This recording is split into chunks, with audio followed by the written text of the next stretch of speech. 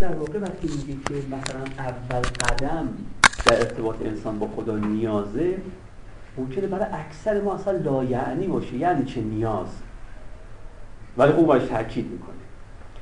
و ممکنه اصلا برامون خیلی نه فقط قرابت داشته باشه فهمش بلکه عجیب باشه قبولش. که کسی بگه که اول وظیفه که نسبت به خدا داری بینه که نسبت به خدا نیاز داشته باشی.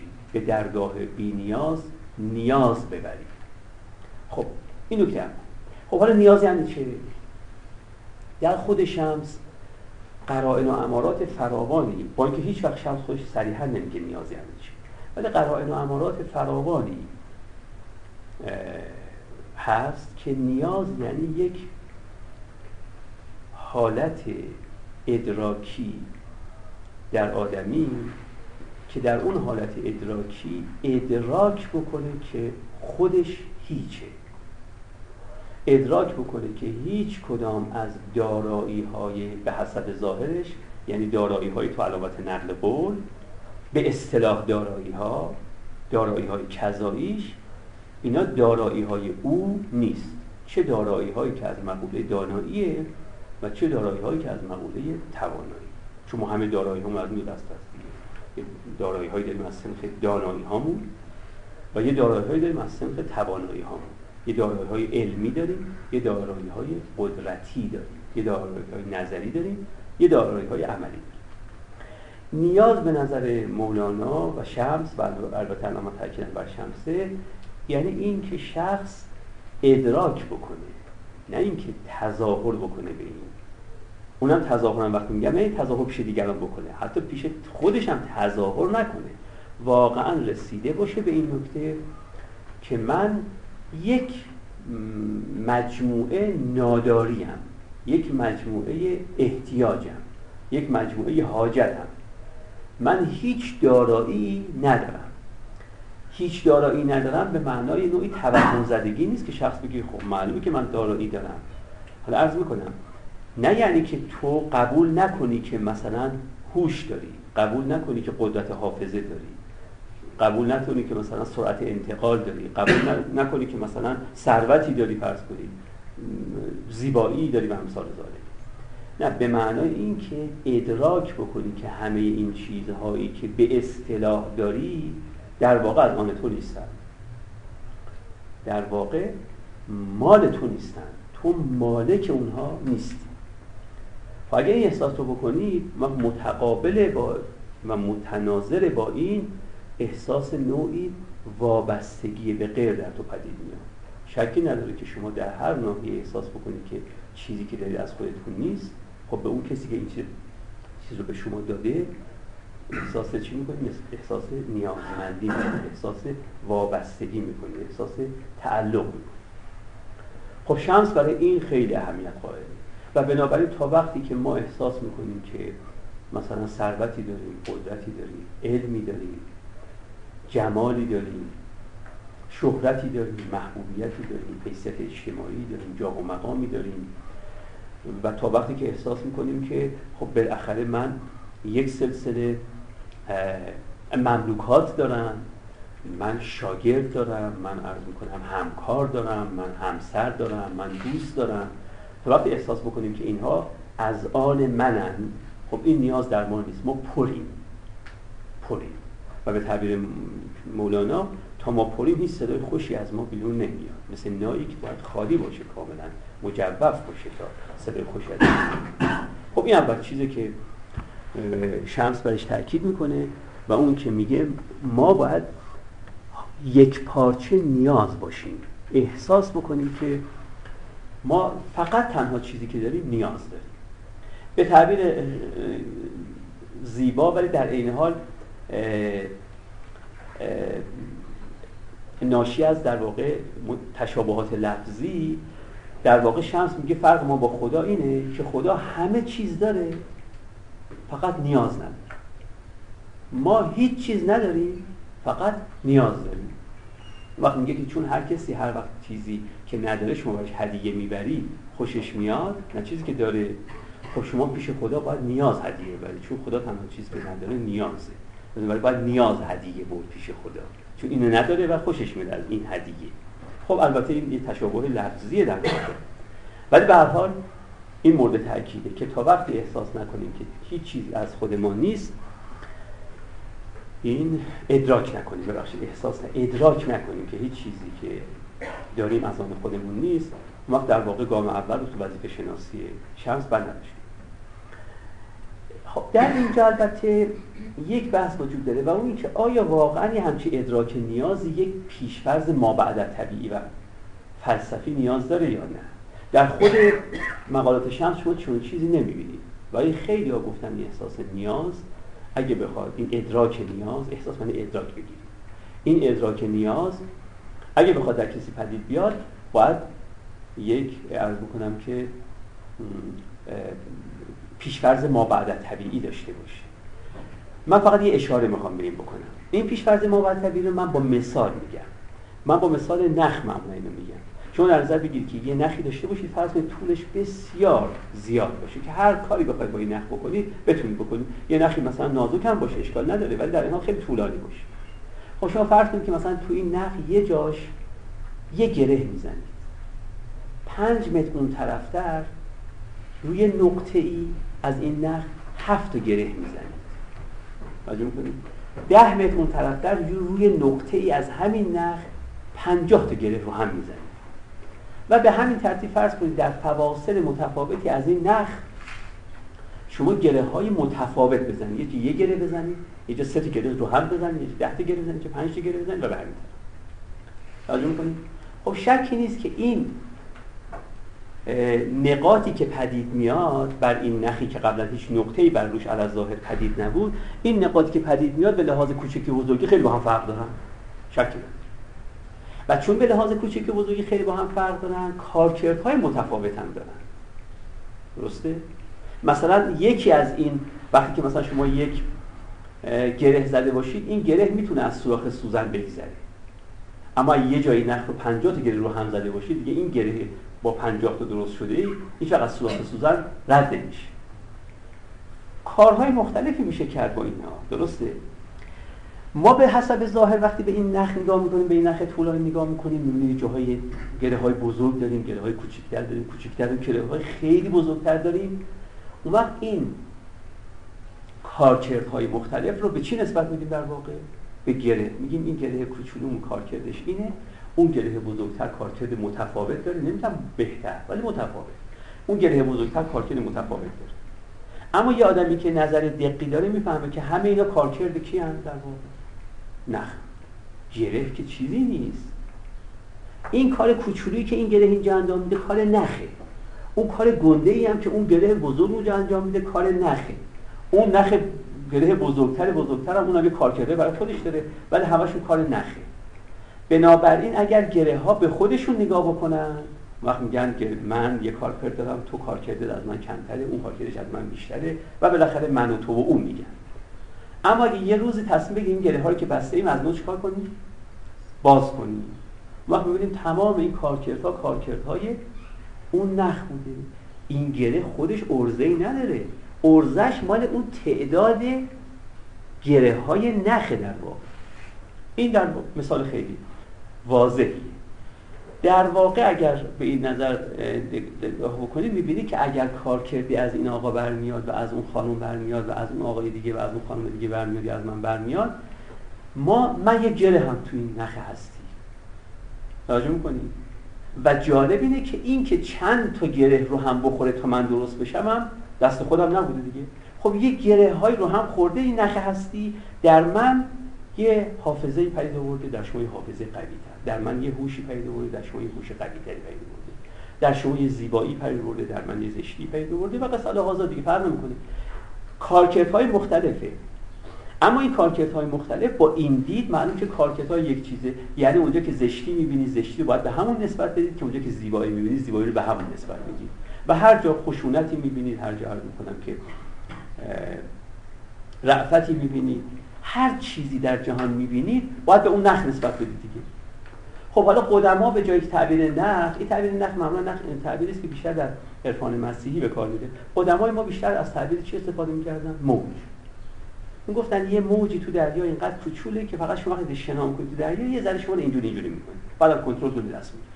بعد شناتون ادامه یه موج هست که نه وقتی به کمرتون بخوره چند با شما رو عرض می‌کنم که میپیچونه و یه پنجامتون طرفتر شما رو قرارتون میده.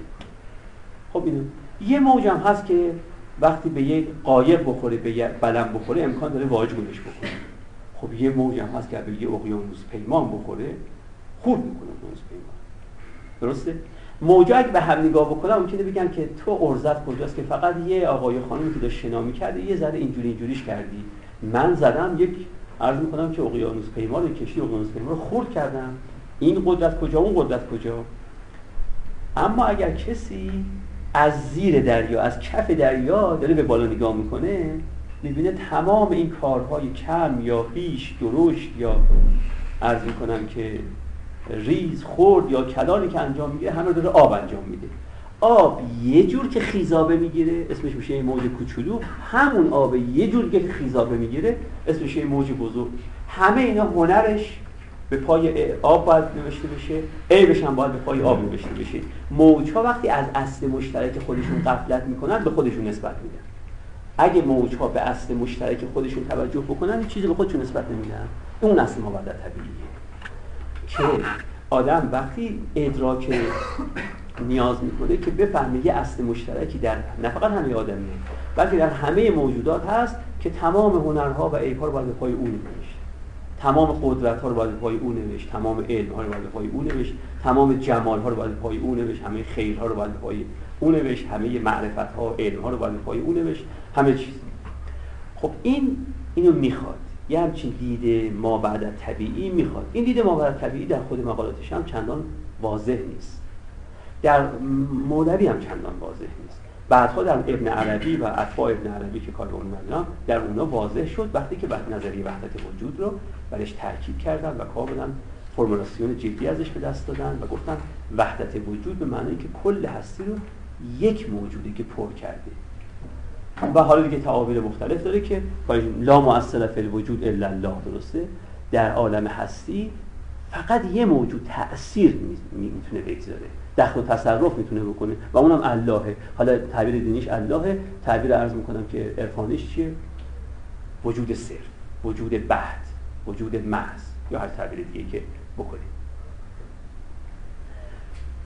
ظاهرا به نظر میاد بدون این فهم این مدعای ما بعد طبیعی اون ادراک بر کسی حاصل نیاد.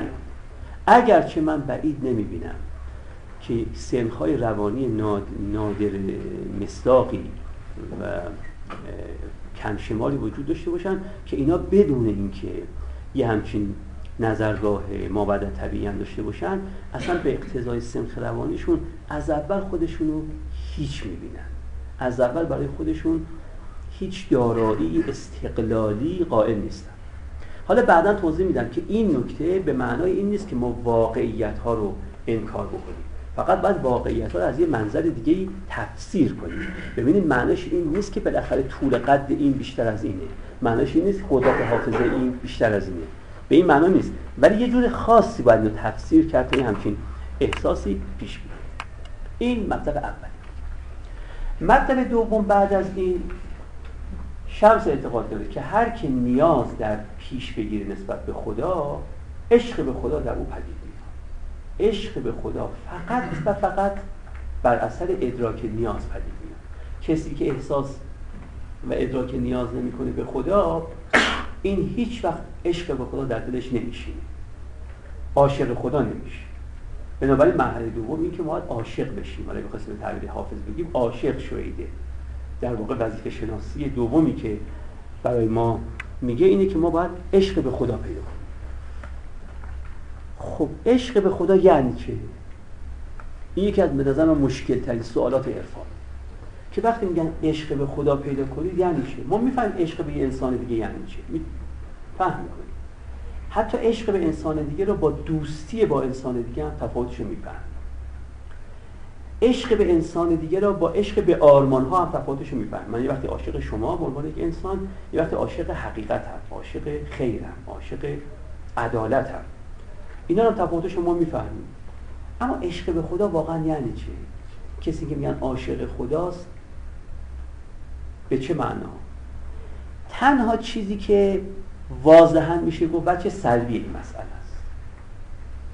یعنی میشه گفت عشق به خدا چه چیزی نیست. اما اینکه بعد از که چه چیزی نیست بگیم چه چیزی است. این چه چیزی استش به من بسیار مشکل. خب عشق به خدا چه چیزی نیست؟ خیلی واضحه.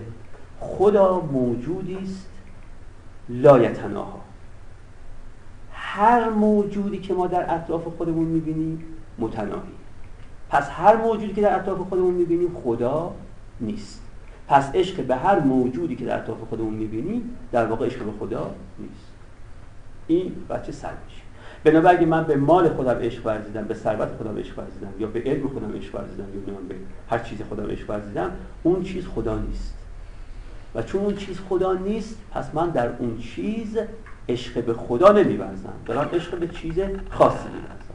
این بچه سلبی. به تعبیر دیگری وقتی ما میگیم عشق به خدا یعنی عشق به چیزی که غیر نداره. چون لای تناهاست هر چیزی لای تناهاست که غیر نداره.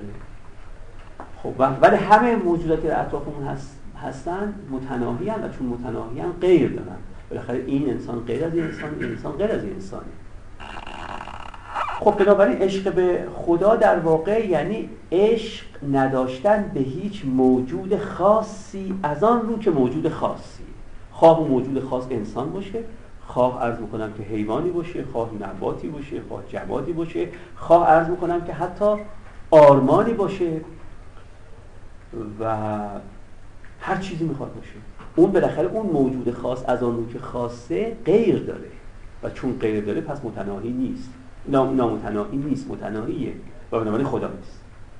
خب یکی از این موجودات که خدا نیستن هم خود منم اینه که شمس دائما تکرار می‌کنه که عشق به خدا یعنی خودبین نباش خود دوست نباش کنید؟ خب این بچه سلبیه؟ اما خب حالا فهمیدیم که پس من نباید به این موجود و این موجود و این موجود و این موجود خاص از آنی که موجود خاصن عشق بورزم اما همین بچه سلبی کافیه؟ یا این کافی نیست؟ ببینید اگر شما یه کاری رو انجام دادید مثال بزنم اگر یه کاری رو انجام دادید و وقتی به خودتون رجوع کردید این کار رو واقعا به خاطر به دست آوردن ثروت نکردید. به خاطر به دست آوردن قدرت نکردید. به خاطر به دست آوردن جاه و مقام نکردید. به خاطر حیثیت اجتماعی نکردید به خاطر شهرتتون نکردید به خاطر محبوبیت هم نکردید. درسته؟ پس به خاطر هیچ کدوم من چیزا نکردید. می‌تونید تا که دیدی به خاطر هیچ من شیشتا نکردید بگید خب پس به خاطر خدا کردم؟ یا نه؟ برای خدا کاری رو انجام دادن یا عاشق خدا بودن شرط لازمش اینه که عاشق چیز دیگری نباشید ولی این شرط کافی نیست. یه چیز اضافه هم می‌خواد. چجور قضیه؟ آیا صرف این که من دلبسته به هیچ موجود محدود متناهی غیردار خاصی نباشم. این کافیه که بگم من عاشق خدام یا نه این عشق رو نداشتن شرط لازم عشق به خدا هست ولی شرط کافی نیست. یه چیز اضافه هم می‌خواد. این به نظرم خیلی بحث مشکلی تو عرفان. خیلی خیلی مشکله و من فکر نمی کنم بشه به صورت قطعی جوابی به این سوال داد. ولی در عین حال یه سلسله چیزهایی از بیانات شمس قابل استخراج و قابل استنباط هست که من خدمت مرز در چند جا میگه که خداپرستی در واقع خلاف و ضد خودپرستی. خب اگر بشه خداپرستی رو به معنای عشق به خدا گرفت وقت میشه گفت اگه بشه گرفت. دارم میگم با اگه. خداپرستی همون عشق به خداست. اگه عشق به خدا باشه وقت میشه گفت طبق این بیان عشق به خدا یعنی عشق به خود نداشتن. چون خودم یکی از اون موجودات متناهی. خب این بهترین نمونه برای اینکه آدم عشق به خدا پیدا بکنه اینه که عشق به خودش نداشته باشه. چرا؟ چون مسلمه که اگه من بنا باشدم عشق به خدا به غیر خدا داشته باشه بیش از هر چیزی در معرض کدوم عشقه؟ عشق به خودشه دیگه. بنابراین اون شاخصش رو دارن میگن. میگن اول عشق به خودت باید نداشته باشی. به دلیلی که اگه بنا باشه من به موجودات متناهی عشق بورزم اول کاندیدای این عشق ورزی من خودم هستم. مضافت بر اینکه اصلا استدلال دیگه هم میشه کرد و اون که عشق به هر موجود متناهی دیگری هم ممکنه بالمعال ناشی عشق به کی باشه؟ به خودم باشه. بنابراین معنا داره که وقتی میگن عشق به خدا دارید اول بخوان بگن که عشق به خودتون نداشته باشید. این کاملا معنا داره منطق. درست. ولی با این همه بازم آدم از این بیان راضی نمیشه. گاهی شمس جوری سخن میگه که گویا عشق به خدا یعنی بیتعلقی. همون چیزی که بودا می‌گفت. بودا می‌گفت عشق رو به معنای در واقع دلبستگی نمی‌گیره. می‌گفت اتفاقا دلبستگی و تعلق خلاف عشقه. می‌گفت عشق بورزید تعلق نداشته باشید به موجودات. دلبستگی به موجودات نداشته باشید. خب این تعلقی هم هست. گاهی هم یه جوری سخن میگه که به نظر میاد که مثال های افلاتونی در نظرش هست. حالا باز من وقتی شما نمی‌خوام بگم ما حسل و شست رفته سخن افلاتون گویا اینه که گویا افلاتون می‌خواد بگه اونی که ادیان و مذاهب بهش میگن خدا تجسم سه تا آرمان. حقیقت خیر جمال این راستی خوبی زیبایی. چکیده چکیده سخن افلاتون اینه که اونی که ادیان و مذاهب بهش میگن خدا یعنی تجسم حقیقت راستی خیر خوبی جمال زیبایی. گاهی در شمس آدم جوری مطلب رو القا, میبین، القا شده می‌بینه که گویا وقتی شمس میگه که به خدا عشق بورزید یعنی عاشق حقیقت باشید عاشق خیر باشید عاشق جمال باشید شیفتگی به راستی رو شیفتگی به خوبی رو و شیفتگی به زیبایی رو در خودتون بپرورید. اما همه یک جا اما یک جا هم شمس تصریح به مطلبی می‌کنه که وقتی تصریح به اون مطلب می‌کنه آدم می‌بینه که انگار نه اینام کافی نیست. ببینید در صفحه حالا در این چاپ جناب دکتر موحد که من دارم در صفحه 89 اونجا میگه که تو وقتی عاشق یک انسان میشی ببین چقدر برای او از خودت میگذری و فداکاری می‌کنی و فدان بهمان. بعد میگه تازه آن معشوق را بقا نیست. تازه اون معشوقی که تو عاشق شدی و به خودش شده از خیلی چیزها صرف نظر می‌کنی و چشم پوشی می‌کنی آن معشوق را بقا نیست. اون که میمیره. هر دو میمیرن. یعنی هم عاشق میمیره هم معشوق میمیره. به زیر خاک می‌روند. تعبیر او اینه. هر دو میمیرن. به زیر خاک می‌روند. توجه می‌کنیم خب این معنیش چیه؟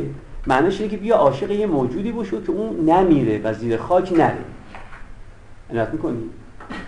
خب به نظر اگه این هم چیزی باشه هیچ از اون تفاصیلی که ما قبلا می‌گفتیم کافی نیست. واقعا یه موجودی گویی وجود داره که برخلاف موجودات انسانی و سایر موجودات که اینا روزی میمیرند و به خاک سپرده می‌شوند و بالاخره عمرشون زود گذره این این عمر زودگذر نداره عمر مانا داره عمر ماندگار داره. همیشه هست. خب یعنی انگار یه موجود خاصیه. اما یه چیز عجیبتر هم اینجا وجود داره که برای من تداعی سلسله دیگه می‌کنه که فقط اشاره بهش می‌کنن ببینید وقتی که ایشون میگه تو عاشق یه انسان چرا میشی؟ هر دوتون میمیری؟ خب می‌خواد بگه اون عاشق خدا باشه دیگه. خب حالا فرض عاشق خدا شدم. در اینجا هم که هر دو نمیمیرن ولی یکشون که میمیره. اونم کیم خود منم. خدا که معشوقه نمیمیره ولی خودم که میمیرم. خب وقتی معشوق زنده بمونه و من بمیرم خب همون عیب که اونجا می‌گفتیم اونجا وارد میشه. منتها اونجا یکیشون زودتر میمیره یکیشون دیرتر میمیره. اینجا نه حتما تو عاشق زودتر میمیره. فقط فرقش دیگه. فرق نداره که وقتی تو به میگن موجود عرض می‌کنن لم یزل لا یزال عاشقش باشو چون اون عشق هر دوتون میمیرید خب میگن بسیار خوب. بله همینطوره. ولی در این عشق من عاشق که میمیرم. توجه می‌کنید معشوقه که میمونه خب چه فایده؟ داره وقتی عاشق بمیره حالا معشوق هم بمونه. اینکه مشکل رو رفع نمی‌کنه. وقت اینجاست که من به نظرم یه چیزی میاد و اون اینه. و اینو با تعمل در بابش کرد و من هنوز باید به قطعی در نرسیدم. البته به اخلاق شمس مربوط نمیشه ولی به حال باید بیشتر توجه و اون اینه فرق انسان بیا به زبان ساده بگیم. فرق انسان نیک و انسان بد در چیه؟ ما در ادیان و مذاهب معمولا مثلا در دین و مذهب خودمون میگیم که فرق آدم بد و آدم خوب در زندگی پس از مرگ معلوم میشه. هر دوشون زندگی پس از مرگ دارن. هر دوشون دارن هم علی داره هم معاویه.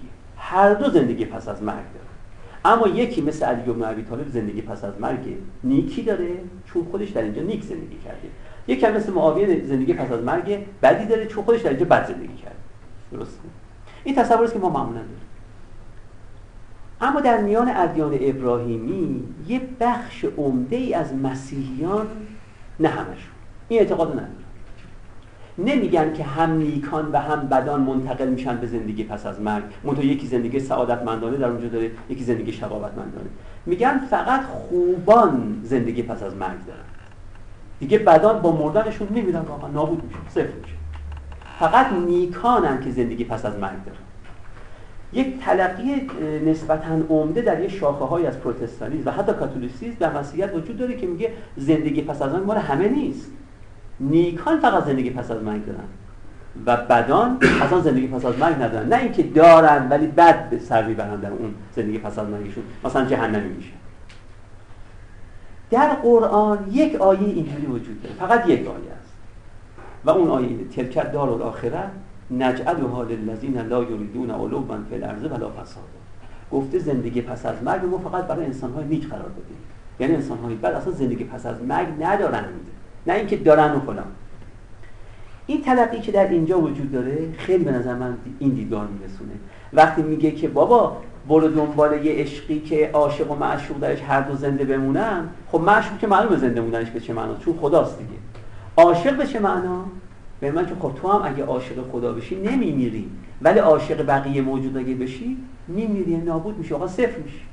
یعنی تو بهشت زهرا اینا که عاشق خدا بودن واقعا زندگیشون ادامه داد بقیهشون واقعا هم تو بهشت زهرا پودر شدن خاکستر شدن خاک شدن از میان رفتن. آیا واقعا شمس هم چیزی قائل بوده؟ آیا شمس واقعا معتقد زندگی پس از مرگ اختصاص به یه افراد خاصی داره؟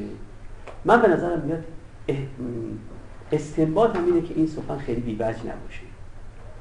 وگرنه منطق نداره که بگن بابا عاشق و معشوق باید هر دو باقی باشن. توجه می‌کنید خب عاشق معشوق باقیه ولی عاشق که باقی نیست بالاخره 70 سال بیشتر عمر نمی‌کنه. مگر اینکه بگی فقط عاشقان خدا اینا زندگی پس از مرگم دارن و عرض می‌کنم که بقای به بقای خدا دارن و هیچ وقت مردن و نابودی درشون نیست. به حال من می‌خوام نرز بکنم که من عشق به خدا هنوز برام خیلی مفهوم نیست یعنی چه در عرفان. که وقتی میگیم عاشق خدا بشین یعنی چه شما هیچ وقت نمی‌دونم حس عشق به خدا درتون وجود داشته یا نه. من خودم به نظرم میاد که شماها وقتی عشق یعنی اونایی که دارن وقتی عشق به خدا درشون تصویر میشه که واقعا خدا رو یه موجود انسانوار کم و بیش تصور می‌کنن. وقت براش مثلا عرض می‌کنن که گریه می‌کنن نیاز می‌برن بعد ناز او رو می‌کشند و بالاخره چون عرض می‌کنن که یا ناز نمایت شما نیاز کنید یه همچه حالتی دارن. برای اینکه واقعا یه موجود مجرد بدون هیچ ویژگی انسانی رو چجور آدم که بهش عشق بورزه خب به برای من خیلی خیلی مبهم. این هم نکته در واقع دوم. نکته سوم دیگه از این به بعد بحث آسانتر میشه. نکته سوم اینه که به نظر شمس ما وظیفه سوم که داریم اینه که تشبه به خدا پیدا کنیم. ما باید هر چی شبیهتر به خدا بشیم. و از نظر شمس اصلا این که اوصاف خدا افعال خدا در قرآن در روایات نبوی بیان میشه نه برای اینکه یه اطلاعاتی به ما بدن از یه موجودی به نام خدا که بگن یه صفاتی داره یک دو سه چهار یه افعالی هم داره یک دو سه چهار بشمونن. اصلا به نظر شمس در قرآن و روایات نبوی وقتی صفات و افعال خدا تصویر میشه برای اطلاع رسانی نیست به شما. مثل اینکه مثلا من بگم که بله یه مثلا فرض حیوانی در آفریقا وجود داره با این ویژگی ها که فقط اطلاع رسانی. نه. برای اینکه ما بدونیم چجوری باید بشیم. وقتی صفات خدا رو میگن اینجوری اینا هست و افعال خدا رو میگن این یعنی تو باید روز به روز بری این صفات رو پیدا کنی و این افعال رو پیدا کنی. در واقع وقتی شناسنامه خدا رو در اختیار ما می‌گذاره قرآن و روایات نبوی به نظر شخص فقط برای اینکه ما بدونیم که به چه سمت و سوی باید حرکت بکنیم. اینه که مثلا میگه من که هم لطف دارم و هم قهر به خدا نزدیکترم. تا کی در واقع؟ تا مولانا که فقط لطف داره. چون قهرم خدا داره دیگه. ما باید تا می‌تونیم شبیه خدا بشیم. خدا که فقط لطف نداره قهرم داره. و من قهرم دارم یعنی شبیه ترم به خدا. متشبه ترم به خدا. این چیزی که تو همه عرفان های ادیان غربی وجود داره که تشبه بالله یا تخلقوا به اخلاق الله. سعی کنید خلق و خوتون مثل خلق و خوی خدا بشه. تشبه پیدا بکنید که عرض می‌کنم که خدا. یادتون میاد کتاب تشبه به مسیح آکمپیس که اصلا کتابی است که می‌خواد بگه چجوری ما شبیه به خدا بشیم. این در واقع سومین وظیفه است که ما داریم. البته خود شمس گفته که به میزان عشقی که در ما شدت می‌گیره نسبت به خدا تشبه ما به خدا هم بیشتر میشه. ولی خب به هر حال این هست که اگه شما از دیده مثلا اومانیستی امروزی نگاه بکنید به نظرتون میاد که یه موجودی که سر تا پا لطف باشه بهتر از موجودی که هم لطف داشته باشه هم قهر. موجودی که سر تا پا مهر داشته باشه بهتر از موجودی که هم مهر داشته باشه و هم کین. درسته؟ هم مهر داشته باشه و هم عرض می‌کنم که نفرت. به نظرتون بهتره. در دیگه اومانیستی امروزی ما که دیده انسان گرایانه و خیلی سنتیمنتالیستی که خیلی عاطفه گرایانه است این به نظر میاد. ولی نظر شمس اینجوری نیست. اگه قبول دارید که عاشق خدا باید بود عاشق سعی می‌کنه میشه شبیه تر به منشور خودش بده. و در خدا غضب هم هست. جویی هم هست. فلما آسفونا انتقام نامه به تعبیر قرآن. وقتی ما رو به قیز آوردن ما ازشون انتقام می‌گیریم خیلی ساده. به قیز هم خدا میاد انتقام هم می‌گیره. تو هم باید اینجوری باشی. که راجع به این بعدا توی فقره بعدی صحبت می‌کنیم. خب حالا این ستا یعنی نیاز به خدا بردن عاشق خدا شدن و تشبه به خدا پیدا کردن همه اینها صورت استکمالیش فقط با ولایت حاصل میاد و این نکته چهارمی که ما باید به دنبال ولی بگردیم. یعنی به دنبال کسی بگردیم که تو فرض تصوف بهش میگن شیخ مرشد پیر. اینجاست که باز برگردیم به اون حرفی اول جلسه می‌زدم. شما که بگید که من می‌تونم کاملا اخلاقی زندگی بکنم نیاز به مرشدم ندارم. اما توجه بکنید که اخلاق شمس اخلاقی برای خواسته ما ما می‌تونیم بله ما می‌تونیم اخلاقی هم زندگی بکنیم و نیازی هم به شیخ نداریم به پیر نداریم به مرشد نداریم. ولی در نظر شمس ما باید بریم به دنبال اینکه یک ولایتی یه جایی پیدا کنیم. یعنی ولیگی برای خودمون پیدا بکنیم مرشدی برای خودمون پیدا کنیم. خب یکی از بحث‌های خیلی پیچیده باز به نظر من تو تصوف اینه که شیخ با آدم چیکار می‌کنه؟ چرا من باید شیخ داشته باشم؟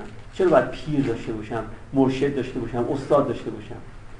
در اینجا من فکر می‌کنم که چند تا سوال خیلی مهم وجود نکته اول اینه که اصلا پیر چه نیازی یا نیازهایی از شاگرد خودش برآورده می‌کنه؟ یک. یعنی ما برای چه نیازی رجوع به پیر می‌کنیم یا باید بکنیم؟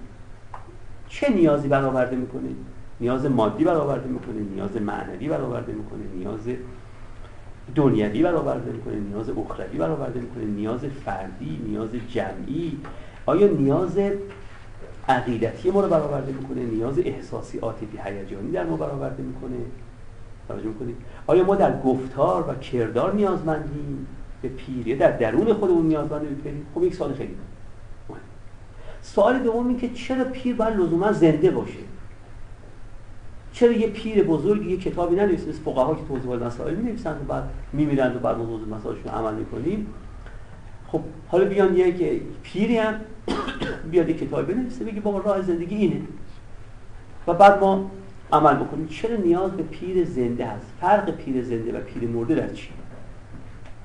این سوال دو سوال سوم اینه که متصوفه در عین حال که تأکید بلیغ می‌کنن بر اینکه حتما انسان باید با پیر زنده سر و کار داشته باشه و تحت ارشاد و نظارت و در واقع اشراف او سیر و سلوک بکنه ولی در این حال معتقدن کسانی که بدون پیر سیر و سلوک کرده اندم تحت پرتو یا برکت یا شعاع وجود یک پیر به مقصود رسیدن. اینوش میگن پرتوگاهی. صوفی ما میگن. میگن یه پرتوی از یک مرشدی که نمیشناختیش به تو زده است که استکمال پیدا کردی. گاهی میگن تعبیر برکت می‌کنن. درسته؟ گاهی تعبیر شعاع می‌کنن و قصه هست. میگن بنابراین اگه اویس بدون پیر به جایی رسید اونم باز یه پیری در یه جایی او رو مدد رسانده است. مدد غیبی به او رسونه. چون اینو قائلن متصوف وقت یک سوال هست. که خب اگر بنابراینه که ما وقتی پیر ظاهری هم نداریم بازم پیر غیبی پیری که خودمون اصلا از وجودش خبر نداریم نمیشناسیمش بالاخره کارمون به سامان می‌بره پس چرا پیش پیر زنده بریم؟ ببینید؟ این مثل کسی به شما بگه که باید برید پیش نانوای زنده نان بخرید. وقتی میگه البته این نوادر افرادی هستن که بدون نانوای زنده هم نان به دستشون رسیده میگن برای یه نانوای غیبی یه نان به دستشون میرسونه. میگه خب اگه یه نانوای غیبی به دست میرسونه پس چرا پیش نانوای زنده بریم؟ چون بالاخره این نانوای غیبی هم که اگه ببینه ما تنهایی کمکمون می‌کنه. این فیض این برکت این پرتو این شعاع که پیران ناشناخته به ما میرسونن اینا آیا ما رو مستقیم نمی‌کنن از پیر زنده؟ این هم یک سوال. سوال بعدی اینه که آیا پیر فقط به جهت تعلیم و تربیتی که نسبت به ما داره ما رو رشد میده یا مجرا یک سلسله فیضهای الهی هم هست. یه وقتی کسی به شما میگه آقا پیر مثل پزشک میمونه. همونطور که پزشک شما میگه که این دارو رو بخور این دارو رو مثلا دیگه نخور. این غذا رو بخور این غذا رو نخور فلان بهمان. همین دیگه. درسته؟ یکی ممکنه بگه آقا اینا طبیبان جان آدمی یعنی شیخ ها این پیرها. هم به ما میگن این کارو بکن این کار نکن. یه دیدگاهه یه دیدگاه میگه نه. اصلا غیر از اینکه به تو میگن چه بکنه چه نکن وقتی تو به اونا متصل میشی اینا مجرای فیض الهی هست یعنی فیض الهی باید از دهلیز اینا به تو برسه. فیض الهی بدون نقب بدون لوله بدون دهلیز جریان پیدا نمی‌کنه. از دهلیز وجود اینا به تو می‌رسه. که این نظریه خیلی مهمیه و خیلی ها گفتن. و مولانا به این قائله شمس هم به این قائله که غیر از مسئله تعلیم و تربیت اصلا این که تو وقتی متصل میشی به او متصل شده ای به عرض می‌کنم که آب مثلا پشت صد کرج بالاخره یه شیر تو می‌خوای. یه لوله تو می‌خوای. باید دستت به یه شیر و لوله برسه تا آب صد کرج از اونجا بیاد به اندازه ظرفیت تو به تو برسه. اما تو همینجا بشینی پشت صد کرج و بگی آب بیان آب نمیاد. این شیر می‌خواد. پیر این شیخه. این شیر ببخشید.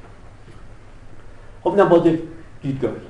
یه دیدگاه دیگه اینه که خب اگه شیخ اینقدر اهمیت داره چه راه های اطمینان بخشی برای تشخیص شیخ های راستین از شیخ های دروغین وجود داره؟ همون بحث که تو کلام وجود داشته به اینکه ما چجوری نبی رو از متنبی تشخیص بدیم پیامبر راستین رو از پیامبر دروغین تشخیص بدیم چون اهمیت داشته در تلقی دینی پیغمبر. خب حالا همین اهمیت رو مرشد پیدا می‌کنه در تلقی صوفیانه. حالا ما چه راهی داریم برای اینکه بفهمیم کی شیاده؟ و کی صادقه مدعیان راستین رو از مدعیان دروغین چگونه بازشناسی بکنیم من واقعش به نظر میاد علیرغم اهمیت فراوانی که مسئله پیر داره ولی هیچ متدولوژی روش شناسی دقیقی برای این عرضه نشده. ولی دائما گفته شده البته تاکید شده که حواست باشه شیادان هم در این راه زیادن. یه وقت به دوچار قول نشی تو بیابان سیر و سلوکی خوده حالا مستور کنم قول و بلد راه این دوتا چجوری از هم تمیز بودن که این بلد کاروانه و این قول راهزن این کاروانه. این هم به نظر من خیلی متدولوژی روشنی نداره. ولی به هر حال در شمس و در مولانا بدون ذره این مبالغه شما بدون پیر به جای نمی‌تونید برسید. باید پیر زنده داشته باشید و این پیر زنده در واقع شما رو هم تعلیم و تربیت بکنه و هم بشه مجرای یک سلسله فیوزات الهی که باید از طریق او به شما برسه. این خدمت مرز کنم که یک خب حالا من نسبت به پیر چیکار باید بکنم؟ این وظیفه پنجمه. وظیفه پنجم که من نسبت به پیر باید مطابعت داشته باشم. و شمس می‌دونه که حتی که بزرگانی مثل شیخ اشراق رو مثل محیدین ابن عربی رو امثال ذالک میگه مشکلشون در اینه که اهل مطابعت نبودن. باز در اینجا یکی از به نظر من جدیترین مشکلات پیش میاد و اون این که شمس و مولانا بیشترین تأکید رو بر مطابعت دارن و بیشترین بدگویی رو از تقلید دارن. تقلید با مطابعت چه فهم من هیچ عارف در فرهنگ خودمون به اندازه مولانا و شمس نمی‌شناسم که اینقدر از تقلید مذمت کرده باشه و اینقدر تأکید کرده باشن برای اینکه نسبت به پیرتون باید مطابعت داشته باشید. خب مطابعت با تقلید چه فرق می‌کنه؟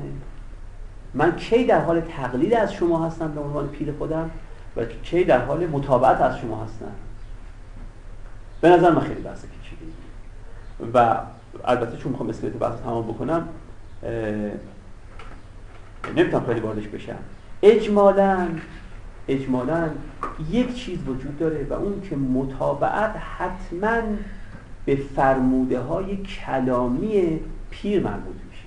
یعنی اگر پیری گفت فلان کار رو بکن حسن حسین تقی نقی زهرا ظهره هر کی. یا فلان کار رو مکان فلان گونه باش فلان گونه مباش. دیگه باید اینو پذیرفت. این امر و نهی رو حتما باید پذیرفت. این امر و نهی مصداق شاخص مطابقت توجه می‌کنید؟ این شکی نداره. تقلید یک مصداق شاخص تقلید هم البته مشخص و اون چیه؟ اون اینه که هر کاری که پیر می‌کنه تو هم عینا انجام بدی. مولانا میگه شمس هم میگه. مولانا میگه که اگه کسی گفت خب ابراهیم رفت تو آتش براش هم گلستان شد. خب تون بود و برو تو آتش وقت میگه خالی میشه اینجوری که بگیم چون ابراهیم رفت باید مطابقت کنیم از ابراهیم. توجه می‌کنیم خب تو برو. مولانا میگه دیگه. میگه برو تو آتش وقت میشه میشه؟ بنابراین نمیشه گفت چون ابراهیم در آتش رفت مطابقت ما از اونه که ما رو تو آتش. موارد فراوانی مولانا مخصوصا برای چند مورد البته شخص که اگه تو خواستی عین کار رو تکرار بکنی این مصداق تقلیده و هلاک میشه خب این دو تا مصداق واضح این اونور رو داریم که مصداق واضح مطابقت اونه مصداق واضح تقلید اینه. ولی از این مصداق که بگذاریم که در بقیه موارد مطابقت و تقلید کاملا هم پوشانی پیدا می‌کنن. و در یه ابهام عجیب آدم فرو میره که چیکار باید بکنه. در قبال شیخ. یه نکته فقط من توضیح بدم در قبال پیر. یه نکته توضیح بدم. ببینید ما باید سه نوع امر و نه رو از هم جدا بکنیم. یه وقت هست که من مثلا فرض پیش پزشکی. پزشک به من میگه که فلانی دستت بالا کن. خب من میگم دستم رو میز گذاشتم بلند می‌کنم. بعد میگه بیار پایین میارم پایین. خب این معلومه که به ام من امر کرده به یه کار کاملا اختیاری. این واضحه. یه وقت به من میگه که ملکیان از اینجا پرواز کن برو رو سر اون پشت رو روبرو بنشین. خب اینا معلومه که به یک امر جبری منو امر کرده که در در قدرت من نیست در حیطه در واقع توانایی من نیست و اینم نشدنی. درسته؟ حالا اگر نه اونو گفت و نه اینو و به جای اینکه بگه دستتو بالا بیار که حتما میارن و به جای اینکه بگه پرواز کن برو رو پشت رو به رو بنشین که حتما امتحان بکنن گفت که هفت کیلو وزن ملکیان کم کن. این, این اختیاری غیر اختیاری از طرفی اینجور که دستمو بلند می‌کردم نمی‌تونم الان بگم چشم آقای دکتر هفت کیلو وزن کم کرد. نمی‌تونم چیکار کنیم از طرفی انگار وجدانا احساس می‌کنیم هفت کیلو وزن کم کن غیر از اینکه برو پرواز کن برو رو, رو به اون مثلا ساختمون بنشین. به این قسم افعال میگن افعالی که به یک لحاظ جبری به یک لحاظ اختیاری. اگه بخواد در وقت امر انجام بگیره معلومه که متوانایی نداره. جبری. اما اگر مهلت بدن اولا و یه روش هم به ما یاد بدن ثانیا این اختیاریه. من اگه به پزشک میگم که خب شما من گفتید من 7 کیلو وزن کم کنم تا کی؟ میگه تا 6 ماه دیگه. میگم خب روششو بگی میگه تا 6 ماه دیگه این کار رو بگی کار رو نکن من وزن کم اونی که ابراهیم رو وقتی دید تو آتش رفت رفت و جزغاله شد توجه می‌کنید این فکر می‌کرد که آدم می‌تونه هر کاری که ابراهیم کرد و مثل وقتی که پزشک دستش بلند می‌کنه میگه من که تو مثل من دستتو بلند کن من بلند می‌کنم. فکر می‌کنه اینجوریه. ولی کی درست عمل می‌کنه؟ وقتی که از ابراهیم بپرسه که یه دستورالعمل من بدی که منم بعد از یه سال دو سال پنج سال مثل شما بتونم برم تو آتش. و اون دستورالعمل به شما میده و بعد از اون طی طریق تو هم تو به وارد آتش بشه هیچ مشکل پیش نیاد.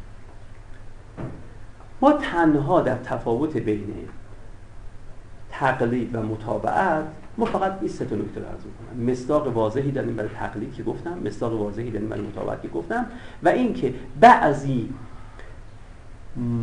مطابعت ها ما می‌تونیم بکنیم ولی به شرط اینکه در همون آن پیرمون رو تقلید نکنیم.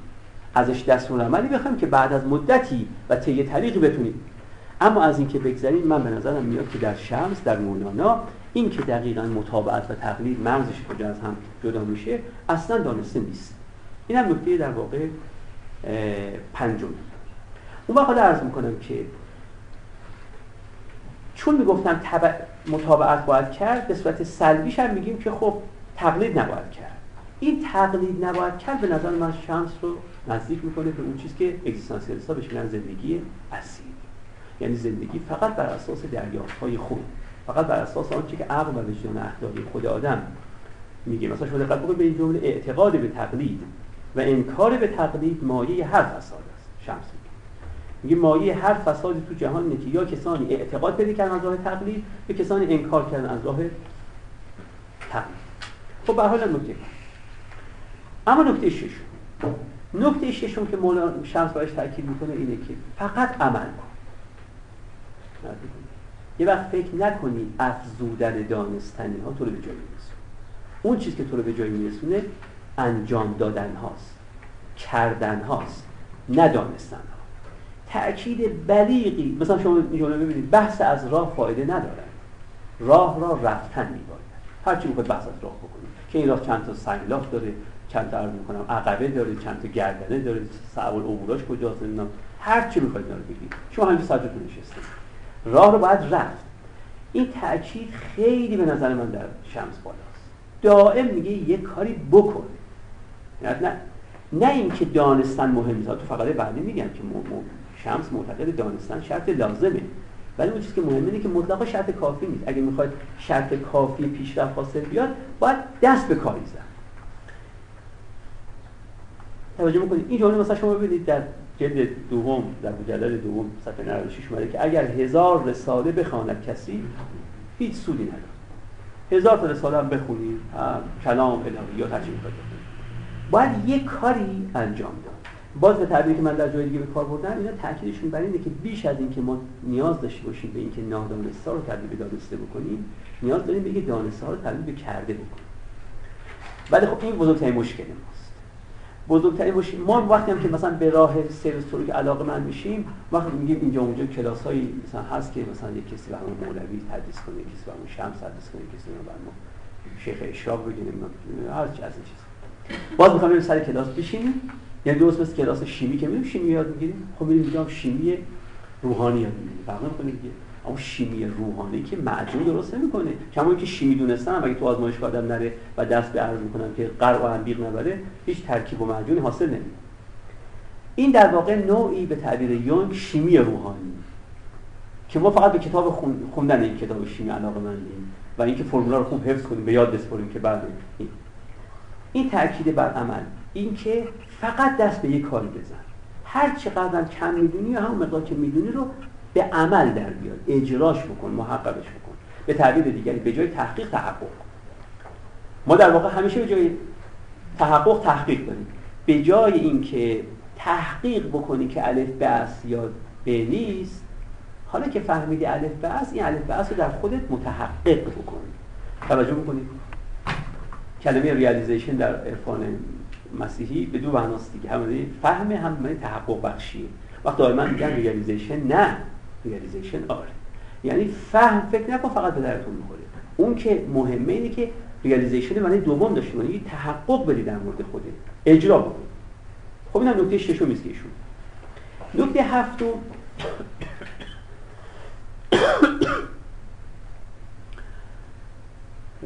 خدمت رو کنم که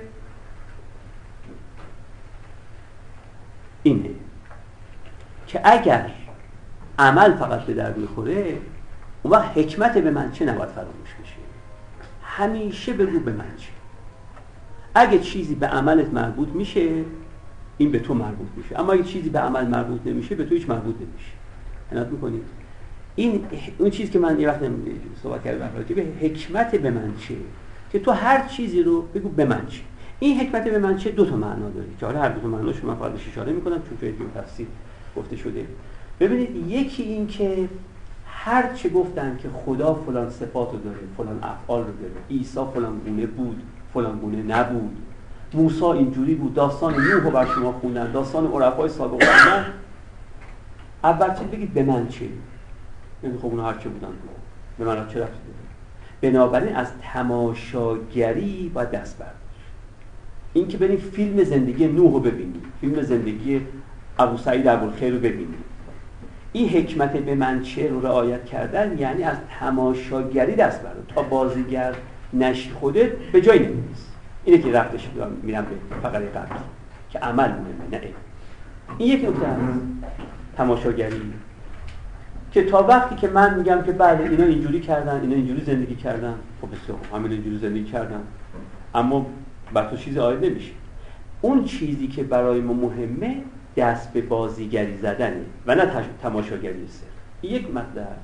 اما یه مطلب دو در من چه هست و اون که هر چیزی که کسی به تو یاد میده بگو آیا از این میشه یک ضابطه عملی درست کرد. من دنبال ضابطه های عملی میگردم. یعنی پیام پشت هر سخنی رو فقط در ضابطه های عملی جستجو کن.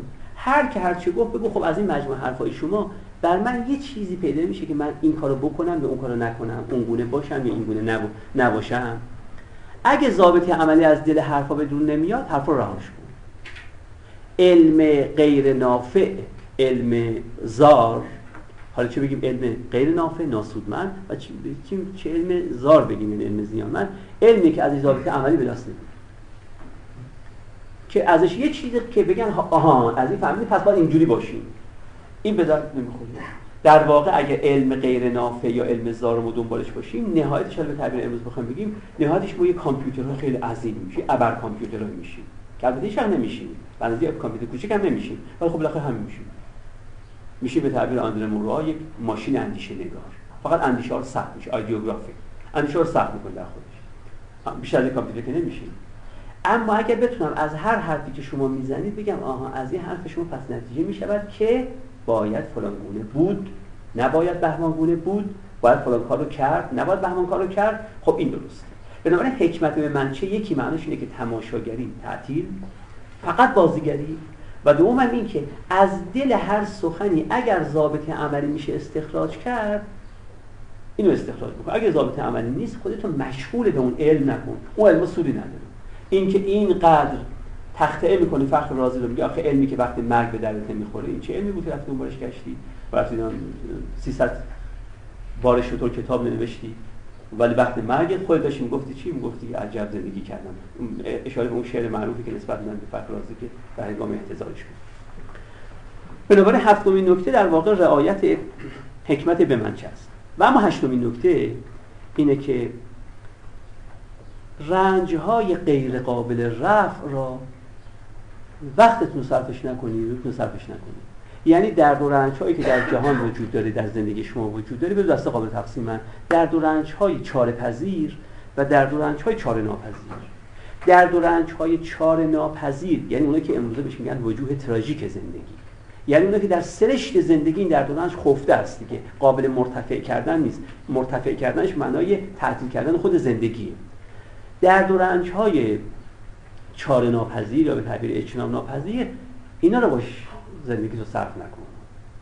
فقط برو هر درد و رنج رو اگه میری سراغش اول تحقیق کن ببین اصلا این درد و رنج قابل رفع کردن هست یا این جزء جبلت و سرش و ذات زندگیه. اگه قابل درد و رفع هست قابل رفع هست اون وقت بهش بپرداز که چگونه رفع بکنم تا چه مقدار رفع بکنم و برای کی رفع بکنم.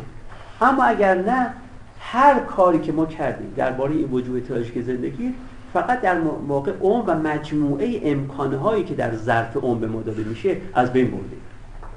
بنابراین به نظر شمس تشخیص درد و رنج های چاره پذیر از چاره ناپذیر خیلی مهمه. یا تو بیاد جمله معروف لاروشفکو عارف و نویسنده فرانسوی که اون دعای خیلی معروفش حتما شما شنیدید که خدایا دگرگونی ناپذیرها رو من نشون بده تا به آنها رضا دهم. و دگرگونی پذیرها رو من نشون بده تا اونها رو به بهترین بعد دگرگون کنم. و فقط سموش هم که به من درکی بده که تفاوت ها رو حذف کنم. خب حالا من قسمت اولش رو در واقع کار دارم. فراوان تأکید می‌کنه بر این نکته. نکته نهمی که می‌خوام عرض بکنم اینه که برای استکمال خودت از هر دین و مذهبی استفاده کن. خودت رو به هیچ دین و مذهبی منحصر نکن. یعنی این تعبیر نه که آنچه معقول است از هر مذهبی باید قبول کرد. توجه می‌کنید؟ خودتو منحصر نکن به فلان مکتب خاص مذهب خاص دین خاص کیش خاص آین خاص مسلک و مشرب و مرام خاصی حالا چه فلسفی باشه چه دینی مذهبی باشه چه عرفانی باشه. هر چیزی که به دردت می‌خوره اینو از هر جایی.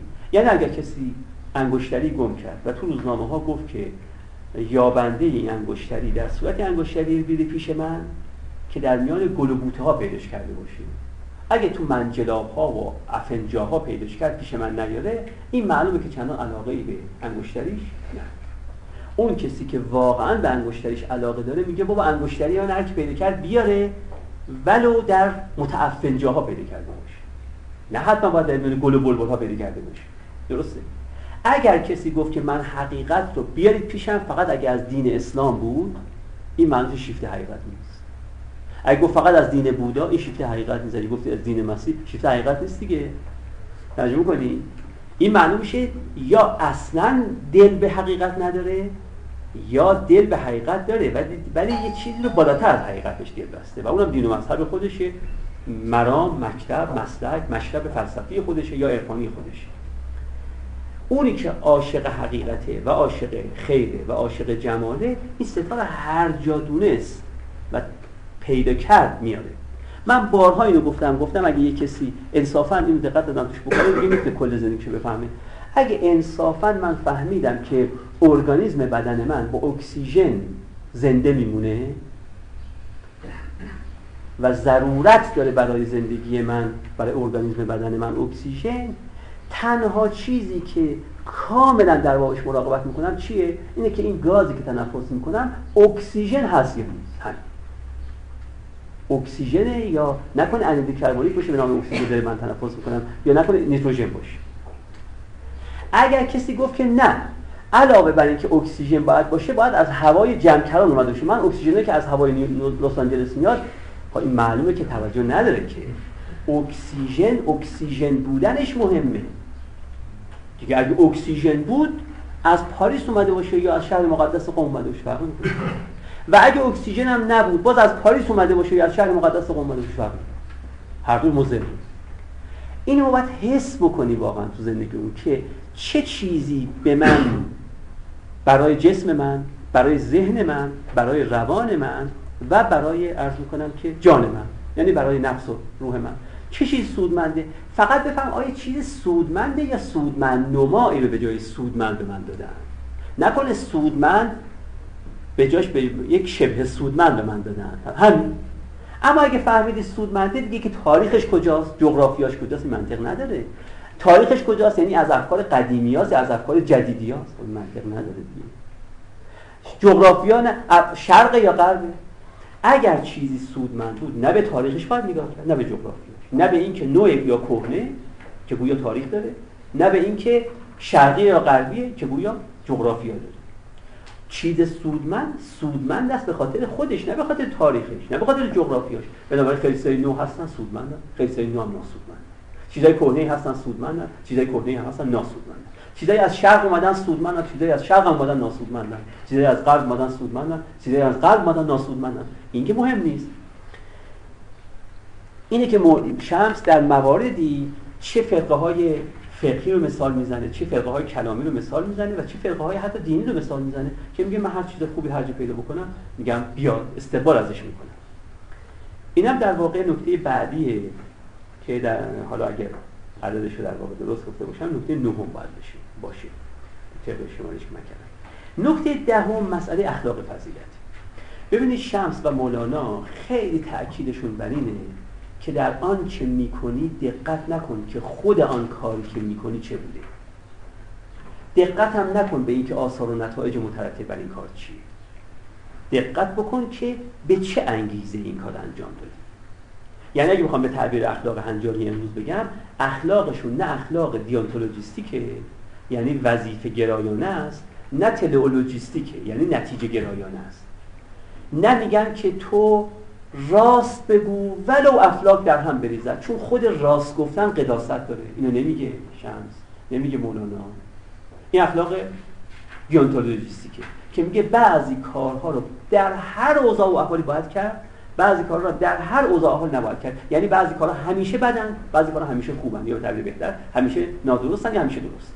یه دیدگاه دیونتولوژیست که مثل کانت. یه دیدگاه هم میگه اصلا هیچ کاری خودش نه بده نه خوبه نه درسته نه درست آثار و نتایج رو باید نگاه کرد. هر وقت آثار و نتایج رو دید خوبه این کار درست بوده. اگه آثار و نتایجش بده پس این کار نادرست این هم دیدگاه در واقع تلولوژیستیک یا کانسکونشالیستیک. یعنی دیدگاهی که به نتیجه نگاه می‌کنه به پیامد نگاه می‌کنه. شمس و مولانا تأکیدشون بر اینه که کاری که از خودت صادر میشه نه به خود کارت نگاه بکن نه به چی؟ نه به آثار نتایجش نگاه بکن. ببین چرا این کار کردی. این مهمه. بنابراین نه فعل مهمه نه نتیجه مهمه بلکه فاعل مهمه. اینه که مثلا سماع واحدی رو یه کسانی میگه اگه همین سماع انجام بدن میگه براشون واجبه. کسانی میگه همین سماع براشون مباهه. یه کسانی میگه همین سماع براشون حرام چرا؟ چون به چه نیتی تا داره سماع می‌کنه؟ اونی که نیت رو نگاه می‌کنه وقت می‌فهمه که آخه نمیشه گفت چون فلانی سماع کرد پس من می‌تونم سماع کنم کار درستیه. یا چون فلانی سماع نکرد پس من نباید سماع بکنم چون کار نادرستیه. اصلا کارها به شکل و شمایل خودشون نگاه نکنید. به آثار و نتایجشون هم نگاه نکنید. ببینید چرا این کار انجام دادی یعنی اصالت از آن فعل نیست از آن نتیجه هم نیست از آن فاعله. این امروزه میشن اخلاق فضیلت. اخلاق فضیلت یعنی آدم وقتی داره خودش کاری رو انجام میده. ببینید دقت می‌کنید دارم میگم وقتی خودش داره کاری انجام میده. داوری بحث دیگری ما اخلاق عمل رو داریم میگیم نه اخلاق داوری. اخلاق کنش نه اخلاق عرض می‌کنم تماشاگری. نه وقتی که من دارم کار شما دارم داوری اخلاقی می‌کنم. اون بحث دیگه است که بعدا بهش می‌پردازم. وقتی خودم می‌خوام این کاری انجام بدم نباید بگم این کار چه آثار و نتایجی داره. نباید بگم این کار خودش آیا از مصداق راست گفتن به مصداق دروغ گفتن. خیلی آدم راست میگن. به خاطر خبث تینتشون راست میگن.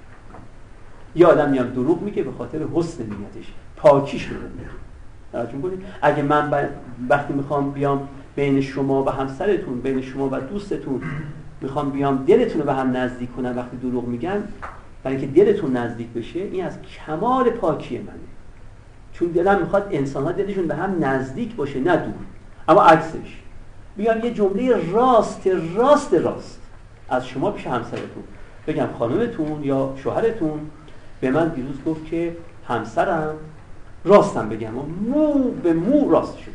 بگم همسرم اینجوری خب راستم گفتم. اما نهایت خبث تینت منه. اخلاق فضیلت اخلاقی که میگه وقتی دارید یه کاری اخلاق رو انجام می‌دید به خودتون نگاه بکنید که چرا من کار انجام میدم خیلی وقت آدم راست میگه از بس پسته.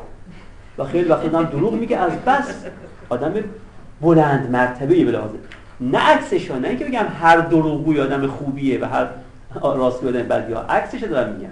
میگم می‌شود یه کسی مثال خیلی ساده تکبر تو همه اخلاق های سنتی مضمون درسته؟ علی بن ابی طالب هم اخلاق اخلاق دین اسلامی که اخلاق سنتیه.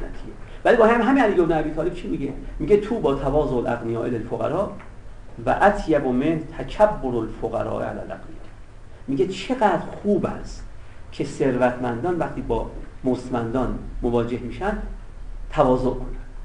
و از اون بهتر وقتی که می‌بینم یک فقیری در مقابل ثروتمند تکبر تکبره ظاهرش بده ولی این از یک تینت بزرگ بلند میشه. یعنی از تینتی که میگه فکر نکنید چشم من دنبال پوله. فکر نکنید من بر ثروت ارزش قائلم. من دندون طمع و کندم و چون دندون طمع و کندم تو که ثروتمندترین آدم روزگاری با فقیرترین روزگار برای هیچ فرقی بلکه برعکس جلوی یه فقیر ممکنه تواضع بیشتری بکنن جلوی تو اصلا تواضع نمی‌کنن این ظاهر اگه نگاه بکنید تکبر میگه کار بدیه. اخلاق فضیلت میگه این مهم نیست. و الا ماشاءالله موارد فراوانی که در اخلاق مولانا و در اخلاق شمس ظاهر. این که مولانا می‌گفت پس بد مطلق نباشد در جهان بد به نسبت باشد این را هم بنان تو بحث به نسبتش با توجه کرد. نسبت به کی؟ هر وقت گفتن به نسبت باید نسبت به کی؟ می‌خواد بگه کارهایی هستن نسبت به فاعلشون که میسنجید خوبن همون کارها نسبت به فاعل دیگه که بسنجید بده و برعکس. این تاکید بر اخلاق فضیلت و این خب حالا من این تاکید رو به لسان امروز بخوام بگم یعنی این که دیگه نمی‌تونم وارد بحثش بشم. این که وقتی می‌خوام کارم انجام بدم کاری می‌خوام انجام بدم ببینم نیتم.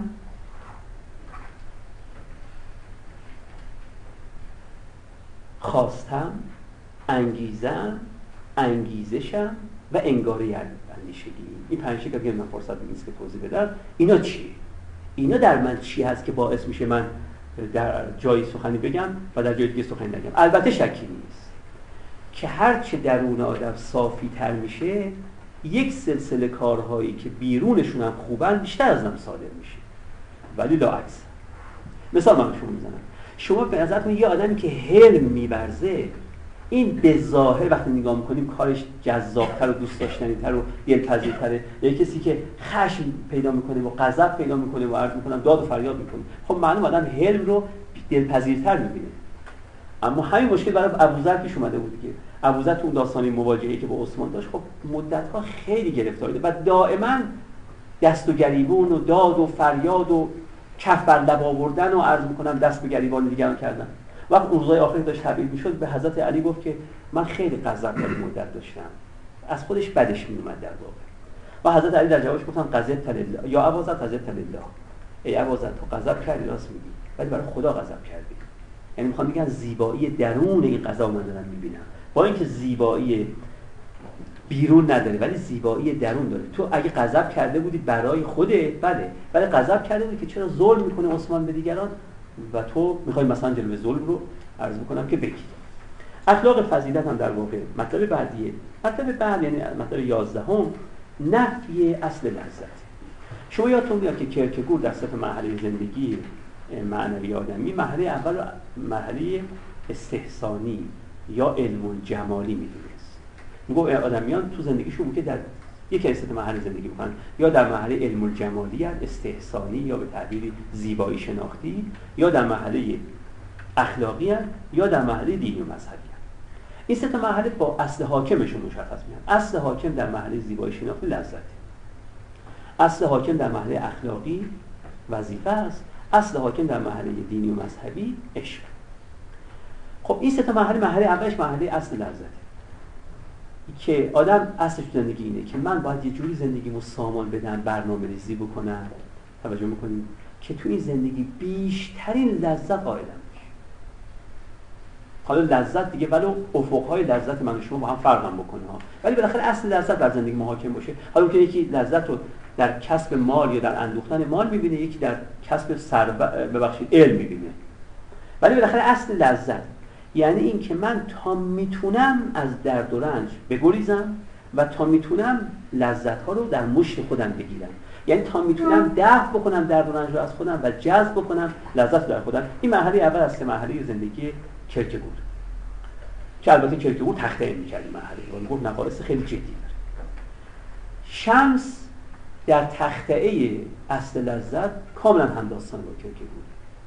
و میگه اصل لذت این که در زندگی بگید یه جوری سامان بدم زندگیمو که لذت هرچی بیشتر ببرم میگه این بزرگترین خطاست ادله هم داره بر این که این روش روش درستی نیست و بزرگترین دلیلی که میاره ربط میده. این نکته رو به نکته بعدی که می‌خوام ازش نقل بکنم. دلیلش اینه. میگه هر که در این زندگی لذت بیشتر می‌بره وقتی مردن حسرتش بیشتره. توجه می‌کنید اگه من تمام زندگیم در یک عرض می‌کنم که کلبه زندگی کرده باشم آسانتر ممکنه بتونم دل بکنم. ممکنه رو من میگم البته. و دقت به نظرم در که بگیم ممکنه. ولی شمس نمیگه ممکنه. و به نظرم از ها سخنش هم کم دقت. من اگه توی عمر توی کلبه زندگی بکنم با یه وضع معیشتی خیلی حقیری و تقریبا هیچ لذتی آنچه که می‌خواستم درم در واقع ارضا نشده به نظر شمس من آسانتر جون میدم. تا وقتی که وقتی می‌خوام جان بدم می‌بینم چه چیزهایی دارم پشت سر می‌ذارم چه چیزهایی دارم ارتباطم باشون قطع میشه. عنایت می‌کنید؟ این یک دلیلی است که شمس میاره. خب شما میگید این چه دلیلی برای مدعا؟ برای اینکه بر اساس اصل لذت زندگی نکنیم این چه دلیلیه که بگن اگر اساس اصل لذت زندگی بکنی وقتی مرگ حسرت داری؟ این منو برمیگرده به نکته بعدی. و اون نکته اینه. که شمس میگه یکی از وظایف ما آدمیان اینه که هر کاری که می‌خوایم بکنیم ببینیم اگه الان مرگمون برسه حاضریم در حال انجام دادن این کار مرگمون برسه یا و اینو در واقع من حال طبق شمارش که کردم در واقع عدد دوازده هم میشه بله. اون میگه که هر وقت محکی می‌خوای بدی که کاری که داری انجام میدی درسته یا نادرسته اینو تصور بکن که اگه در حال انجام دادن این کار قبض روح شدن. می‌خوای در حال انجام دادن کار قبض روح بشی یا نه؟ اگه می‌خوای در حال انجام دادن اون کار قبض روح بشی خب از نظر تو اون کار درسته و انجامش بدی باکی باکی نیست. اما اگر نه میگی که نه اگه اسرائیل بیاد میگم اجازه بده این کارو ول کنم برم سراغ یه کار دیگه. توجه می‌کنید اون وقت در واقع معلومه که من این وقتی دوست داشتم که بعدا در جنگ شهید شد. خیلی مرد جذابی بود خیلی اخلاقی بود. یه وقت من بهش گفتم که فلانی فرض که سر سفره سفره صبحانه نشستی با خانم داری صبحانه می‌کنی بعد اسرائیل میاد و میگه سی ثانیه دی فرصت تو چیکار می‌کنی؟ گفت من سی ثانیه قاشق برم دارم این چای خانممو هم می‌زنم که شیرین بشه. ببینید این یه تلقیه واقعا. ممکنه کسی می‌گفت این تو این سی ثانیه سه تا صلوات میفرسته. نمی تلقی دیگه از دیگه. یکی از دیگه یا حضرت عباس می‌گفتن حالا چیز دیگه یکم حلالیت میطلبه یه چیزی بالاخره. ولی بالاخره اینکه تو سی ثانیه مثلا هر چه فرجی رو کم بکنن بهتر آدم خودشو می‌شناسه. وقتی میگن تو سی ثانیه فرصت دادی چی کار می‌کنی؟ بگه خب این معلومه که اگر در حال مرگ خودش در حال هم زدن چای خانمش ببینه لذت می‌بره. خب این نظر اون کار درستی. شمس معتقده که این محک بسیار مهمه. یکی که اصلا جوری سخن میگه گویا تنها ملاک برای درستی کار اینه که آدم وقت انجام دادنش احساس بکنه که من می‌خوام که در این حال مرگ در واقع مرو در بیام. این هم یک بحث. بحث بعدی که شمس داره اینه که وظیفه ما اینه که با خودمون ببرزیم که یواش یواش این باور در پدید بیاد که جهان هستی از عقل من بزرگتره. البته خیلی واضحه که جهان هستی از عقل من بزرگتره اما واضح فقط ما گفتن. تو مقام زندگی کردن اکثر ما جوری زندگی می‌کنیم که گویا جهان هستی یا به اندازه عقل ماست یا کمی حتی کوچکتر از عقل ماست. توجه کنید یعنی هر چیزی که عقل ما نمیپذیره رو نفی می‌کنیم. و فکر می‌کنیم که هر چیزی که وجود داره حتما به قد و قواره عقل ماست و هر چیزی از قد و قواره عقل ما زد بیرون این حتما وجود نداره.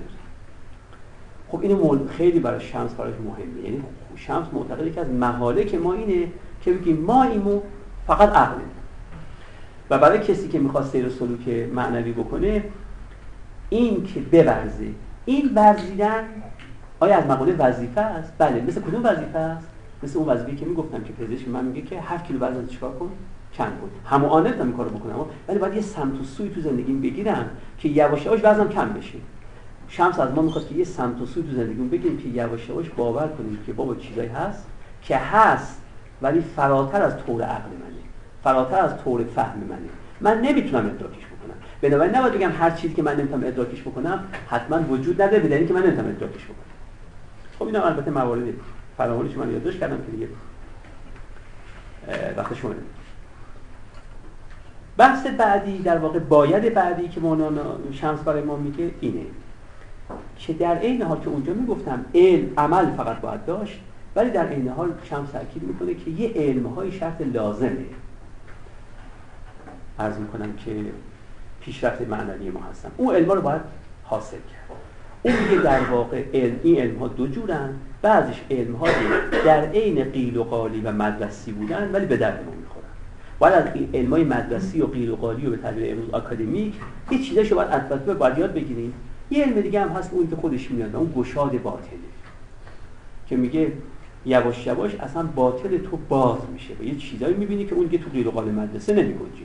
هر دوش هم علم ها اون یه نوع کشف واقعیت اون یه نوع کشف واقعیت دیگه است. ولی بالاخره از این دو تا اجتناب نمیشه کرد. اولی شرط لازمه پیشرفته و دومی چه بسا نتیجه پیشرفت گشاده باطن نتیجه پیشرفت ماست. وقتی پیشرفت می‌کنیم به لحاظ معنوی یواش یواش چشممون به یه حقایقی باز میشه چشم در واقع دلمون تعبیر افلاطون. چشم دلمون به یه حقایق باز میشه که هیچ وقت از قال مدرسه و عرض می‌کنم که دانشگاه و اینا به اون امور ما پی نمی‌تونیم ببریم. اینم نکته در واقع طبق احسای من نکته 14 اما نکته 15 نکته 15 هم اینه که اگر کسی از من شمس بپرسه که حالا برای اینکه اولین کارها رو بکنم برای این سیر و سلوک از چی بگذرم؟ میگه اول از پول باید گذرش توجه می‌کنید و در زبان در زمان شمس اون چیز که ما بهش میگیم پول پول بهش می‌گفتن اونی هم که ما بهش میگیم پل باز بهش می‌گفتن پول. و اینه که هم شمس هم مولانا تعبیر دادن که باید از پول بگذری تا از پول بگذری. یعنی باید از پول گذشت تا بتونه خرش از پول بگذری. آدم اول به نظرش میاد که پول چیز کمیه. باید می‌گفتن مثلا ریاست طلبی چون ریاست طلبی خیلی چیز مهمیه که آدم پولش هم خرج می‌کنه برای اینکه رئیسش بکنن. عنایت می‌کنید و حدیث هم داریم در تایید این از پیامبر که آخر ما یخرج عن قلوب صدیقین یا رؤوس صدیقین حب و راسه آخرین چیزی که از دل انسان های راستین میره بیرون ریاست طلبی. ریاست طلبی اون آخران میره بیرون. آدم اول به نظرش میاد که چرا اینو نگفته شمس؟ ولی اینقدر تاکید می‌کنه پول. به خاطر اینکه در مقام عمل راست میگه. در مقام اول تا آدم اینو نکنه بقیه نمی‌تونه بکنه. علت می‌کنید و شما خودتون امتحان کنید دیگه. خیلی واضحه. تا آدم نتونه از پولش بگذره بقیه چیزای گنده تر رو نمی‌تونه انجام بده. یعنی کسی نمی‌تونه بگه که من اصلا دیگه در پی شهرت نیستم در پی محبوبیت نیستم در پی عرض بکنم جاه و مقام نیستم. حیثیت اجتماعی برام مهم نیست. ولی در این حال پولی که برام مشکل خرج کردم این اصلا پارادوکسیکاله. خیلی پارادوکسیکاله. عکسش صریح هست که بگه من پول راحت میدم اما هنوز نتونستم از شهرت و محبوبیت اینا بگذرم. اینه که من نظام روانشناسی که شمس و مولانا احتمالا مولانا از شمس گرفته باشه اینو دارن که اول پول بدید پول بدید این به نظر میاد مطلب درسته و خدمت رو ارز کنم که نکته نکته بعدی که نکته که من الان خدمت رو ارز کنم نکته 15 نکته بعدی اینه که شمس معتقده که عشق فقط باید منحصر بشه به خدا. ما فقط باید عاشق خدا باشیم. فقط عشق به معنی دقیق کلمه باید معطوف به خدا بشه. اگه نمی‌خواستم با لسان الهیات مسیحی بگم عشق باید می‌گفتم یکی از فضائل الهیاتیه. یعنی از فضائلی که باید به کی تعلق بگیره فقط؟ به خدا. چون سه تا فضیلت الهیاتی داریم میگه در مسیحیت. عشق ایمان و امید. اینا به چه معنی الهیاتی یعنی نه فقط باید به خدا تعلق بگیره آدم باید فقط به خدا ایمان داشته باشه فقط به خدا امید داشته باشه و فقط به خدا عشق بورزه خب از نظر به انسان ها چی؟ شمس به جای اینکه بگه عاشق انسان ها باشی میگه نیچ خواهی باید نسبت به انسان ها باشه گاهی هم تعبیر شفقت بکنیم بله البته شفقت به نظر من یه تفاوت ظریفی با نیچخواهی می‌کنه. ولی به حال هیچ وقت عشق نسبت به انسان ها میگه ما باید عاشق خدا باشیم ولی نیچخواه انسان ها باشیم. برای همه انسان ها در واقع نیکی بخواهیم. و نیکی بخواهیم البته حالا که نفهم وارد بحثش بشم بعد اشاره می‌کنم نیکی برای کسی خواستن نه به معنای رعایت خوشایند و بدایند اوست. به معنای رعایت مصلحت و مفسده اوست. وقتی من نیک خواه شما هستم معنیش این نیست که هر خوشتون میاد می‌ذارم در اختیارتون و هر چرا بدتون میاد ازتون دور می‌کنم. نه هر به مصلحتتونه بهتون نزدیک می‌کنم هر به مفسدتونه ازتون دور می‌کنم. و از اینجاست که به بحث بعدی می‌رسیم و اون بحث خشونت عشقه. شاید هیچ عارفی به اندازه شمس بر خشونت عشق تاکید میگه من هر که دوست بدارم باش خشونت می‌کنم. بدانی که دوستش دارم نه که دشمنش دارم. چرا؟ چون شما هر چه یه آدمی رو بیشتر دوستش دارید بیشتر دلتون می‌خواد به مسلحتش زندگیش تمشیت بشه نه به خوشایندش. درسته؟ خب وقتی به مسلحتش می‌خواید اگه اون طرف خودش خوشایند خودش بخواد وقت شما اگه مسلحتش رو بخواید بین شما و او چی پیش میاد در واقع؟ تعارض پیش میاد دیگه تضاد پیش میاد دیگه. مثل بچه من بچه من خوشایندش اینه که امشب بره سینما. ولی مسلحتش اینه که امشب بره درسشو بخونه تو فردا کنکور داره. درسته؟ من اگه واقعا علاقه من بچم باشم چیکار می‌کنم؟ میگم بالا بری یا پایین بیای نمی‌ذارم امشب بری سینما. باید درس تو بخونی. چون من طالب مسلحت تو هستم. درسته؟ حالا اگه بچه‌م بگی که خب ببین بابا تو من اجازه ندادی برم سینما اما بچه همسایه بعد از اون پرسید ازت گفتی که برو سینما. پس من تو بچه همسایه بیشتر من دوست داری. میگم نه عزیز من اتفاقا به این دلیل که بچه همسایه رو کمتر از تو دوست دارن به او به خوشایندش اعتنا می‌کنم ولی برای تو به چی در واقع اعتنا دارم به مصلحت تو. وقتی اینطور بشه عشق اینو خشونت آدم هر چه عاشق یه آدم بیشتر میشه نسبت به اون خشنتر میشه. باز عکسش نمیگم نه اینکه هر که خشنتر از نسبت به شما بیشتر عاشق شماست. نه از یادش میگم هر که عاشق از نسبت به شما بیشتر خوشایند شما از نظرش محو میشه به جاش مصلحت شما میشینه. توجه می‌کنید وگرنه من بارها گفتم من بچه همسایم با معدل 13 بیاد پیشم شکلاتش هم میدم به بستنیم دعوتش می‌کنم. با معدل 13 بیاد. اما اگه بچه معدل 19 بیاد اخم طرف می‌کنم آخه بابا جون چه معدلی آخه بگی که خب چه بابایی دارم؟ با بچه همسایه با معدل 13 برد بستنی بهش داد. وقت من معدل 19 نمی‌فهمه اینکه بابا من وقتی تو رو بهت علاقه دارم دارم می‌خواد مصلحت تو در زندگی پیش بیاد وگرنه بعد خوشایند همین. شما این خشونت عشق در رفتار شمس می‌بینید در گفتار شمس می‌بینید و در تعالیمش هم می‌بینید. یه وقت گفتارش خشنه یه وقت کردارش خشنه یه وقت اصلا خودش میگه. میگه بابا یک از اصلها اینه که باید خشونت بکنه با کسی که بهش علاقه داره. نمی‌تونه بگه هر هر دلت می‌خواد هر جور میل شماست. اونی که میگه هر جور میل شماست بیشتر از اینکه عاشق شما باشه به نظر میاد عاشق خودش. چرا؟ چون وقتی من میگم هر جور میل شماست به زیان شما رفتار کردم ولی اولش دل شما رو به خودم نزدیک کردم. وقتی میگم نه هر جور میل شماست نداریم اون وقت به سود شما عمل کردم ولی دل شما رو از خودم چیکار کردم؟ دور کردم که شما رو بهم علاقه نداری عاشق کسیه که در وقت که بی علاقگی طرف مقابلم می‌بینه بهش خدمت می‌کنه. میگه من کار ندارم که من نزدیک میشه دور میشه. خب در اینجا البته بحث خیلی مفصله و خود شاید بحث خشونت عشق خودش یه بحث کاملا مستقلی در واقع بتونه باشه. بعد از این مسئله بعد از مسئله خشونت عشق باید اصلا دیگر اینه که نتیجه هم خشونت عشقه و اون اینکه آدمی که عاشقه خشنه و آدمی که خشنه به ارزش داوری های دیگران نسبت به خودش بهانه میده درسته؟ وقتی که من عاشق شما واقعا به شما میگم آقا خانم این کارو بکن این کار ولو خوشاینده تو اون کار دیگه است. اما این کار دیگه رو بکن که خلاف خوشاینده. خب طبعا یه خشونت شما در من می‌بینید درسته؟ و این باعث میشه که ارزش داوری منفی نسبت من. بگید چه آدم ارزم کج درسته؟ حالا اگر من ارزش داوری های شما برام مهم باشه تا که میشنوم که شما راجع به من گفتید چه آدم کج خلقیه از فردا برای که نگید آدم کج خلقیه میام با شما خوش خلقی می‌کنم به چه قیمتی؟ به قیمتی که مصلحتتون رو در بوته فراموشی و خوشایندتون میگم میگم بله بستنی میل دارید الان اتفاقا وقت بستنی. سینما بخواید اتفاقا بهترین وقت سینما رفتن الان. توجه می‌کنید؟ بخاطر اینکه می‌خواستم داوری شما نسبت من منفی نشه. آدمایی که عاشقن باید یه نوع بی‌اعتنایی به انسان ها به ارزش داوری های انسان ها پیدا کنن. هم به خاطر مصلحت خود اون انسان ها هم به خاطر مصلحت خودشون. چرا؟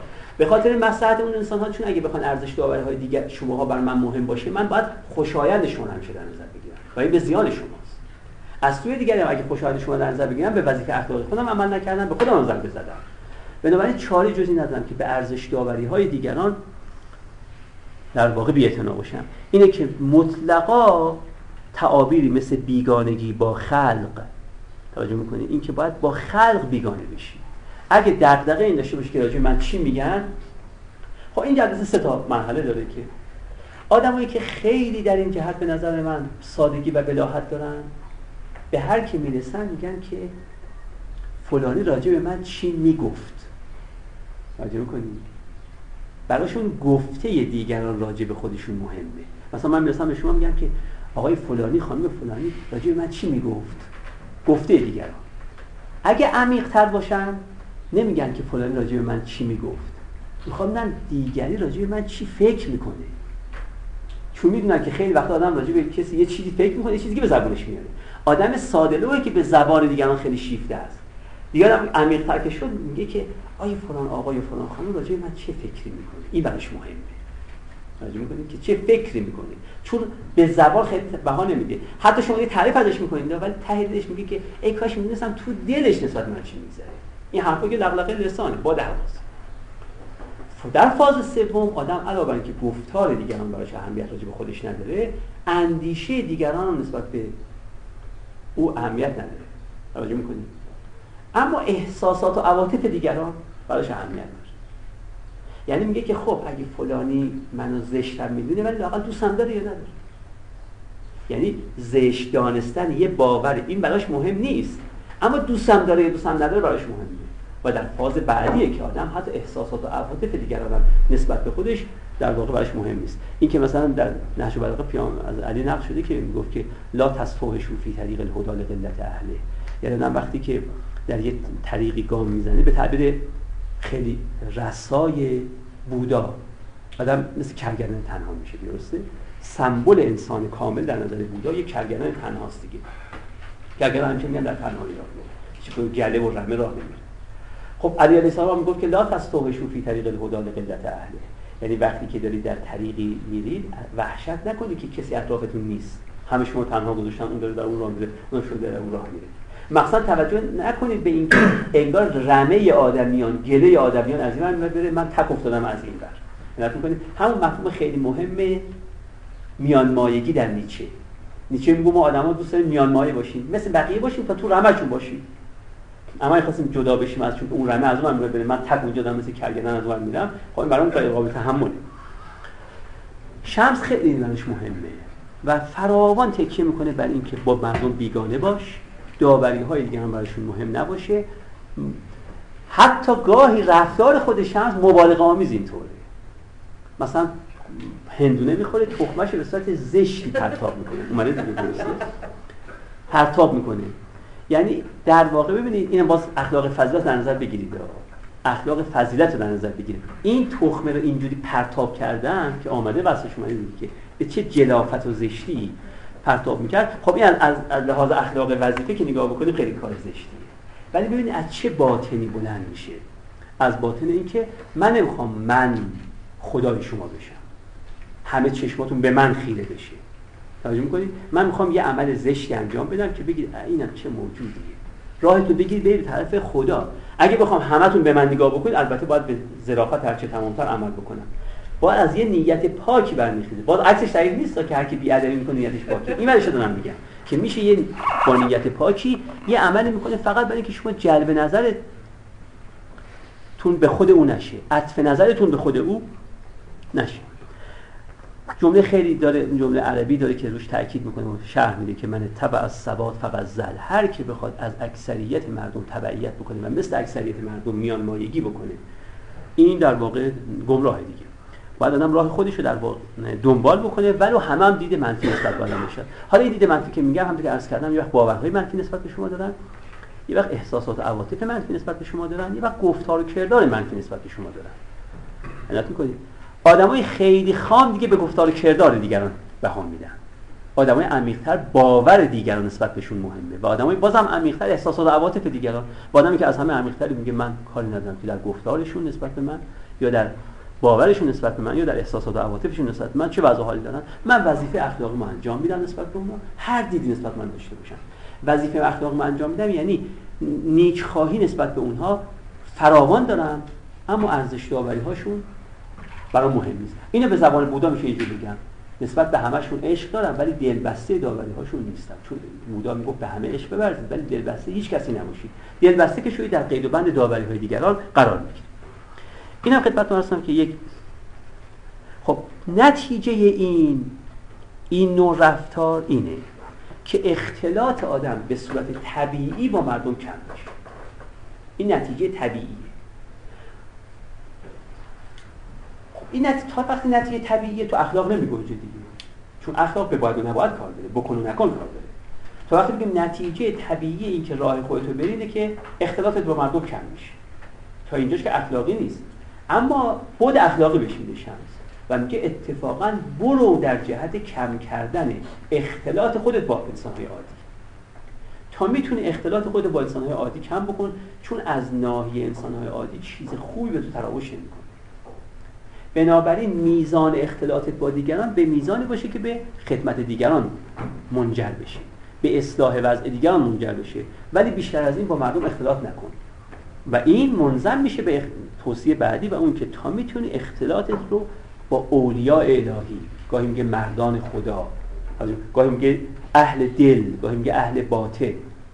مجموع این توصیه و توصیه قبلی یعنی که اختلاط با مردم کم بکنی و اختلاط به اولیاء الهی زیاد بکن به نظر من حالا به تعبیری که امروز تو فلسفه اخلاق گفته میشه یک نوع فایده جویی عظیم در ارتباطات اجتماعی. هر جا فایده کم ارتباطات اجتماعی قطع بکنن. هر جا فایده بیشتر اجتماعات اختلافات رو بیشتر بکنن یعنی در ارتباطات اجتماعی فقط بر اساس اصل فایده جویی عمل بکنن. و چون فایده از نظر شمسی فایده خاصیه طبعا فایده کجا بیشتر می‌بینه؟ تو مردان الهی می‌بینه. و طبعا میگه تا می‌تونید با مردان الهی. حتی در جای خودتون دیدید که میگه یک عمر من میارزد به اینکه ملاقات با مولانا داشتم. با اینکه دیدید که جواب به مولانا بی‌اعتنایی در واقع می‌کنه. یعنی براش اینقدر مهم مصاحبت با اولیاء الهی. چون معتقد از ناحیه پرتویی که از وجود اونها ساطع میشه ما نیکتر میشیم. خب حالا من در جای دیگه البته بحث مفصل کردم که این که می‌گفتن ما وقتی مصاحبت با نیکان می‌کنیم پرتو اونو در ما می‌زنه که در مولانا هست در دفتر اول مولانا مخصوصا بیشتر هست. چون دفتر اول مولانا بیشتر در واقع در باب پیره. کل دفتر اول از عواست داستان پادشاه و کنیزک تا آخرش که در باب پیره در واقع. تو این دفتر اینقدر تاکید می‌کنه و در شمس اینقدر تاکید است به چی؟ سه جهته. یعنی پرتویی که مصاحبت دیگران در ما ایجاد می‌کنه مصاحبت اولیای خدا مردان عرض می‌کنم که پاک در سه جهته. یک جهتش اینه که آدم در گفتار و کردارش از اونها الگو می‌گیره. این ساده ترینشه که آدم یواش یواش وقتی با کسانی نشسته برخواست می‌کنه در طرز گفتار طرز کردارش از اونها الگو می‌گیره. این ساده ترینشه ولی دو تا مطلب مهمتر وجود داره. نکته دوم اینه که مصاحبت مردان یک سلسله مطلوب های روانی به ما القا با مردان پاک نشستن یه آرامشی با آدم میده که آدم با بعض آدم که میشه تشویشش بیشتر میشه استرابش بیشتر میشه. مطلوب های مثل امیدواری آدم بیشتر میشه آرامش آدم بیشتر میشه. رضایت باطن آدم بیشتر میشه. بیشتر احساس شادی می‌کنه. اینا مطلوب در واقع اخلاقی.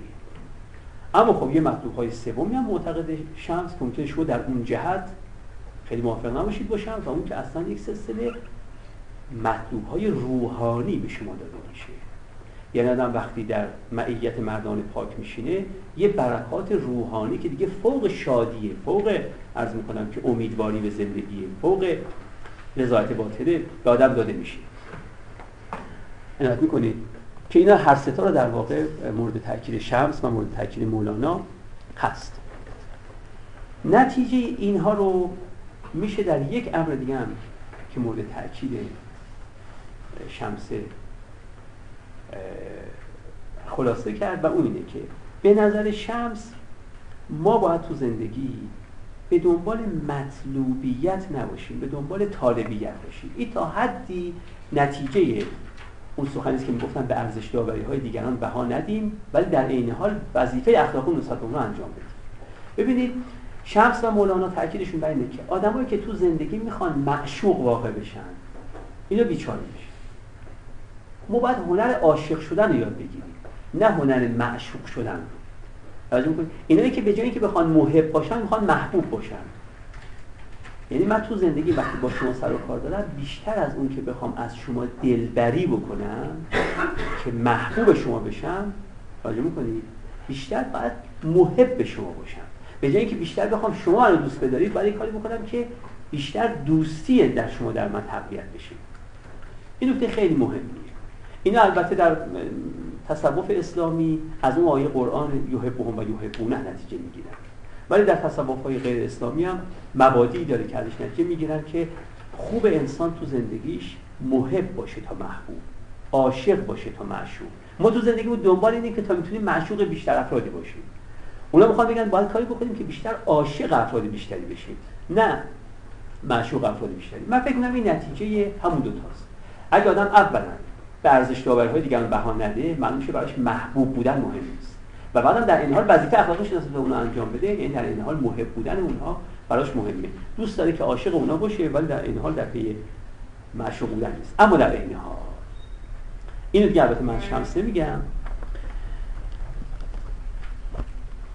یا تو میاد داستان جامی که میگن کسی گفت که رفت؟ داستان خیلی معروف و خیلی آموزنده که کسی عاشق دختری شده بعد به هر در ایزد بالاخره این دختر همسرش نشد یا بالاخره عرض می‌کنم که دوستی اونو نداشت. عرض می‌کنم که بعد گفت دیگه ناامید شد. بعد گفتم من برو در سرندی به هندوستان در اونجا یه کسی هست که یه دعایی می نویسه و مشکل حل میشه. این بالاخره رفت در سرندی به هندوستان و و بالاخره اون طرف رو پیدا کرد مرتاز رو پیدا کرد اون دعا نویس هرچی. پیدا کرد اون دعا نویس هم دعا رو نوشت و و گفت این دعا ردخور نداره. امکان نداره. این دعا را تو هر هفت روز هر روز صبح یه کمیشو تو آب بریز و با آب مخلوط کن آب بخور. و دیگه معشوق حتما در اختیار تو قرار می‌گیره. بی فقط یه چیز توجه بکن که توی هفت روزی که داری این کارو می‌کنی یه وقت میمون تصور نکنی. اگه تو ذهن عکس و قیافه میمون حاضر شد خب مشکل داری این باطل میشه خب این بدبخت مادر مورد گفت بابا اگه تو نگفته بودی آخه آدم وقتی می‌خواد بره دنبال معشوقش و دنبال این کارا و این جادو جنبلا اصلا چی میمون تو ذهن آدم میاد؟ اما خب تو الان که گفتی من دیگه نمی‌تونم میمون تو ذهنم نیاد. دیگه هر کار می‌کنم میگم خب میمون نباید تو ذهنم بیاد. تا میگم میمون نباید تو ذهنم بیاد میمون با تو ذهنم دیگه در واقع بی اثر. یعنی خیلی وقتا هست در فلسفه علم میگن پیش بینی های کامبخش. و پیش بینی های ناکامبخش حالا وارد بحثش نمی‌خوام بشم. فقط می‌خوام یه اشاره اینجا بکنم. توصیه شمس اینه که برید به دنبال عاشق بودن نه به دنبال معشوق بودن. درسته؟ این توصیهشه دیگه. هر چی بیشتر آدمای بیشتری عاشقشون باشن. نه آدمای بیشتری رو عاشقم باشن معشوقم.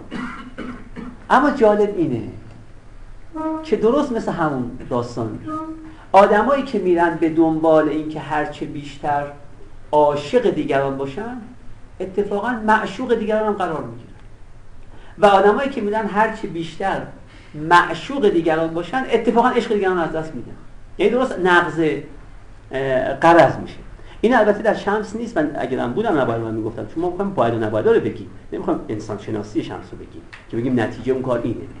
ولی به این در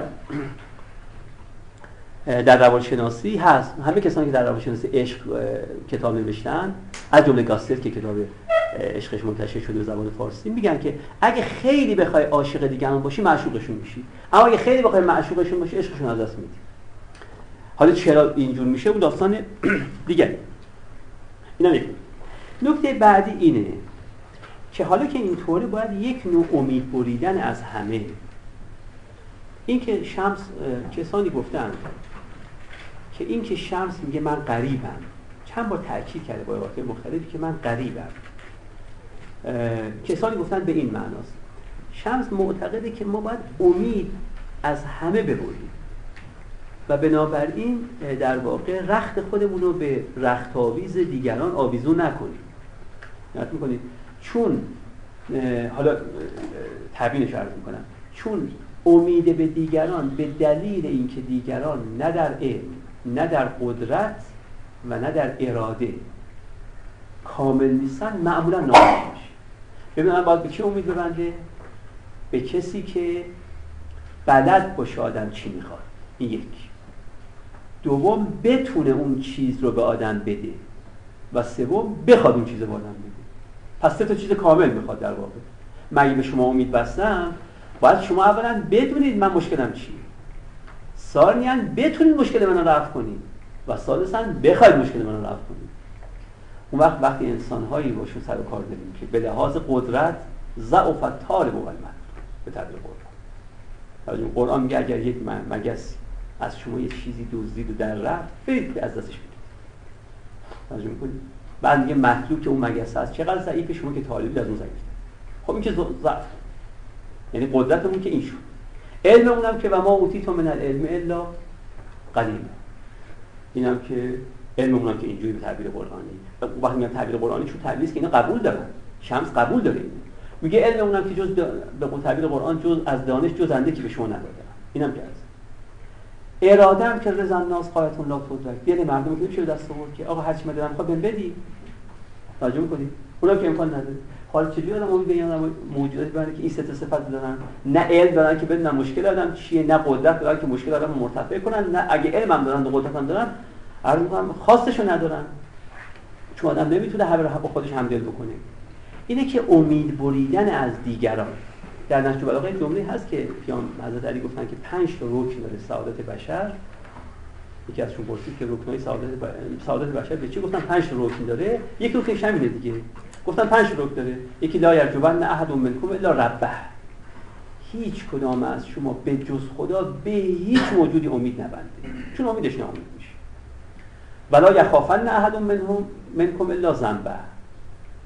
درسته؟ و هیچ کدام از شما از هیچ موجودی تو عالم نترس حتی از خدا نترس ولی از گناه خودش بترس چون گناه آدم خاکستر نشی سه تا دیگه هم داره دیگه. یکی ولا یستحین احد منکم اذا سئل اما لا یعلم یقول لا اعلم هیچ کدام از شما حیا نکنید. اگه چیزی از اون پرسن که بلد نیستید سریع بگید بلد نیستم. این نکته سوم. نکته چهارم. ولا یستحین احد منکم اذا لم یعلم الشیء یتعلمه. باز حیا نکنید شرم نکنید. هر چی بلد نیستید بپرسید. و یکم علیکم به صبر پایداری در امور داشته باشید. و این الصبر من الایمان که رأس من الجسد فانه لا خیر فی جسد لا رأس معه. ولا فی ایمان لا صبر معه حالا من اولیش رو عرض می‌کنم. اولیش در واقع همین چیزی که شمس داشت تاکید می‌کنه که باید از همه امید برید. چون موجوداتی که علم و قدرت و ارادهشون هر ستاش منقصت داره عیب داره نقص داره اینا نمیشه بهشون امید با بس. خدا که میشه بهش امید هست در تلقی شمس که خدای انسان بار قائله به خاطر که هم علمش هم قدرتش و هم در واقع نیچ خواهیش بی نهایت. و اما مطلب بعدی این که وقتی می‌خوای به کسی کمک بکنی به قدر فهمش کمک بکنی. اگر به کسی ف... کمکی کردی فوق فهمش این توجه نمی‌کنه که داری بهش کمک می‌کنی. توجه می‌کنی؟ و خب اینم تعلیم تربیت خیلی مهمه. ما خیلی وقتا یه چیزی رو به بچه‌مون کمک در واقع می‌کنیم ولی کمکی فوق فهم اون و اصلا بچه ادراک نمی‌کنه. بنابراین برای اینکه کمک تو به دیگری مؤثر باشه اول باید فهم طرف رو بالا بیاری تو بفهمه آها این کار کسی با بکنه این کمک من و بعد کمک بهش بکنی. وگرنه قدر فهمش رو بالا برده باشی و کمکی بهش بکنی اون وقت در واقع هیچی. گازت می انگشت اصلا گاز انگشت گاز می‌گیره. خیلی آدما به مصاحان اجتماعی هم واقعا همینجورن. خیلی وقتا یه چیزی به مردم می‌خوان کمک بکنن. ولی چیزی میگن که این چیز فوق طور فهم مردمه. مردم نمی‌فهمن. توجه می‌کنید؟ دیگه این امروز اتفاقا روز خیلی خوبی برای این حرف خب نمی‌فهمه دیگه. شما بگید آقا جامعه مدنی میگه جامعه مدنی. کی با جامعه مدنی کم شده بود مثلا؟ هنوز فکر کنم داریم جامعه مدنی. خب متوجه نیست دیگه. اول با سطح فهم بالا بعد دیگه بابا ببین اینو توش احتیاج داری حالا می‌خوام احتیاج رو برطرف کنم این هم یک نکته است و اما دو تا نکته آخری که باقی مونده اینه. که اون این نکته که می‌خوام بگم ربط داره به قدر فهم مردم با مردم کمک کردن. ببینید شمس کسی که میگه و مولانا هم البته نه به اندازه شمس داره تاکید می‌کنه که با هر که مواجه میشی ببین اهل شنیدن یا اهل گفتن. اگه اهل شنیدن حرف بزن اگه اهل گفتن شروع کن گوش بدن کسی که اهل شنیدن نیست باش حرف نزن. شمس دائم میگه از دوا خودش میگه. میگه من به هر کی برمیخورم اول تحقیق کنم که این اهل شنیدنه یا اهل گفتن. میگه اگه اهل گفتنه من تا صد سال دست زیر زنخم می‌زنم و میگم خوب هر چی بگی ما گوش توجه می‌کنید؟ اما اگه اهل شنیدن شروع کنم با صحبت کردن. چرا؟ چون اغلب ما صحبت با کسانی می‌کنیم که خیلی عذر بخوام از حرفای ما در حال تهوع بالا میارن اصلا. چون اصلا نیاز احساس نمی‌کنن به حرفای ما. این خیلی اهمیت داره. اینی که شمس خیلی جا ساکته. میگه چون مجلس مقتضی حرف زدن نیست. مجلس وقتی مقتضی حرف زدن نباشه یکیش معنیش اینه که فهم ندارن طرف که فرق رو حرفتون رو بفهمن این نکته که قبلا گفتم نکته بعدی که اصلا احساس نیاز نمی‌کنن به این بنابراین اگه می‌خواید که حرف بزنید و فکر خودتون دانشمندید خودتون چیز بلدید اینا بفهمید من میشنم گوش میدم. هر چی می‌خواید بگید. هنر گوش دادن دارن. اما از اون طرف اگه شما هنر گوش دادن دارید من حرف رو گفتن دارم. من به نظرم میاد ولو ما به اندازه شمس حرف رو گفتن نداریم. چون شمس خودش حالا نکته آخرم همین اتفاق شمس خیلی مقام خودش رو بالا می‌دونه. خب ما البته نداریم مقام رو واقعا ولی با این همه این قاعده ای که شمس میگه که اگر کسی گوش شنیدن نداره ساکت باش. و اگه گوش شنیدن داره باش حرف بزن در مورد ما هم که خیلی سطحمون به لحاظ علم و معنویت پایین صادقه. من فکر می‌کنم پیل کارلگی خودتون می‌دونید که سخنران و خطیب معروف نیمه اول قرن بیستم آمریکا بود کتابایی هم نوشته به زبان فارسی هم ترجمه می‌شد در ایام نوجوانی جوانی من. زیاد این کتاب چگونه سخنران موفقی شوی فلان و یک یه جمله داره. ازش وقتی پرسیده که خب تمام این 20 چند کتابی که شما راجع سخنرانی رو نوشتی نمیشه در یک کلمه خلاصه کنید که بالاخره سخنران خوب کیه؟ البته من خیلی شرمنده میگم چون بر من ضرر داده گفت که سخنران خوب من یه قاعده میگم. سخنران خوب کسی که قبل از اینکه شنوندگانش خسته بشن خودش خسته میشه. اگه کسی سخن مخاطبانش خسته شدن و خودش هنوز خسته نشده این واقعی است. این سخنان خوبی نیست. بفهمه کی عرض می‌کنم که اونا می‌خوان خسته بشن اون وقتی که خودش خسته شده باشه اون وقت. توجه می‌کنید؟ من فکر کنم نکته خیلی درسته. شب خیلی تاکید می‌کنه که آقا این حرف مفت نیست که به هر کسی می‌زنه. اگه گوش نداره نزنه حرف رو. نه یه قلاعدیه به تعبیر اون قلاعد دورره سخن یک قلاده گردنبند دره اینو به گردن خوکا نباید آبی هر که می‌فهمه این گردنبنده و دره باش حرف بزن. کنید ولی کسی که اصلا نمی‌فهمه تو باش بگو تو خیلی حرفا رو گفتن دارید. بگو تو من بشنم و این به نظر من خیلی نکته مهمیه. و علت عمده سکوت شمس در بسیار و عرفا در بسیار از موارد این بود که میفهمیدن مخاطبشون یا به خاطر فهم نداشتن یا به خاطر میل نداشتن می‌خواد حرف بزنه. خب طبعا وقتی می‌خواد حرف بزنه می‌خواد پس ما سکوت می‌کنیم و میشنویم. حالا من اینم می‌خواستم بیشتر از این روش تاکید بکنم ولی عرض می‌کنم که تمام می‌کنم. و اما نکته آخر. نکته آخر اینه که شمس خیلی در باب خودش ادعا داره و اظهارم می‌کنه. شما در عرفان می‌بینید ببینید همین شمس که اینقدر علاقه داره به عرض می‌کنم که مولانا میگه من اگه مولانا فراغش منو غمگین نمی‌کنه. کما که وسالش هم منو شاد می‌کنه. مولانا میگه نه کسی دیگه و گاهی وقتی جملات به مولانا می‌کنم برای که به نظر من یه مقدار اصلا تخفیف آمیزه البته مولانا مرمون از اون طرف در رساله سپه سالار ببینید میگه که روزی در باغ نشسته بودیم. سپه سالار میگه در باغ نشسته بودیم و حضرت مولانا خداوندداری پاشونو دراز کردن تو جوی آب پاشونو دریدن بالا تو جوی آب که خنک باشه باشه در این میان یکی از اصحاب در اومد گفت که ای کاش شمس زنده بود که با محضر او می‌رسید بعد از شمس بعد از وفات شمس. بعد میگه که مولانا در اومد گفت که چجوری هم حرف می‌زنی؟ در حضور کسی که از هر تار موی او هزار شمس آونگان است. هزار تا شمس از هر تار موی من آویزونن. وقتی در حضور همچه آدمی میگه که کاش شمس بود؟ توجه می‌کنی؟ خب اینا دارن دیگه در واقع. خود شمس دیدی که میگه دو جا میگه که سخن من دعوی می ولی خب میگه این دعوی رو داره. چرا اینجوریه در واقع؟ و خودش توصیه در واقع در این باب داره. من اینم به عنوان آخر نکته می‌خوام عرض بکنم. مثلا ببینید ما را با ائمه چه کار؟ ما خود ائمه ایم.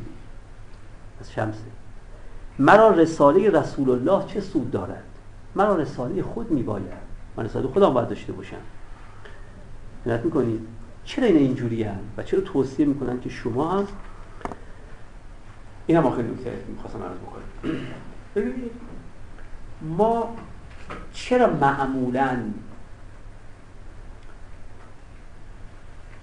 میگن که شما اینقدر نگین من اینم و من اونم و من علمم اینقدر و من ثروتم اونه و شهرتم اونه و چند کتاب نمیشتم و چند مقاله در مجلات علمی از منتشر شده و میگن. چه چه میگن نگی به این جهات یکی به این جهت که ما که میگیم غالبا چیزی رو که واجدش نیستیم میگیم داریم. یک. توجه می‌کنید منی که میگم من ده تا کتاب نوشتم نه تا از این کتاب دزدی از کتاب های دیگرانه. خب پس واقع کتاب من نیست پس یکی به جهت اینه که ما داریم اصلا دروغ میگیم. خلاف واقع میگیم. میگیم اینو داریم اینو داریم اینو داریم اینو داریم اینو داریم اینو داریم. در واقع اینو نداریم. این یک جهته. یه جهت دوم که نمیگیم. به خاطر اینکه اونایی رو هم که داریم نمی‌دونیم که مال خودمون نیست مال خداست. حتی اون کتابایی که خودم نوشتم خب این هوش کی به من داده؟ من نوعی از خودم نمیگم هوش کی من که کتاب بنویسم؟ این قدرت تفکر رو این قدرت عرض می‌کنم که تفهیم رو قدرت استدلال رو علم رو هر چی که دارم. اینو کی من داده؟ این که به من دادن به دیگری دادن دیگری همین کار من انجام میده بنابراین توجه هم نداریم ما که اینم که تازه راست میگیم و داریم باز آریتیه. اینم که دومه.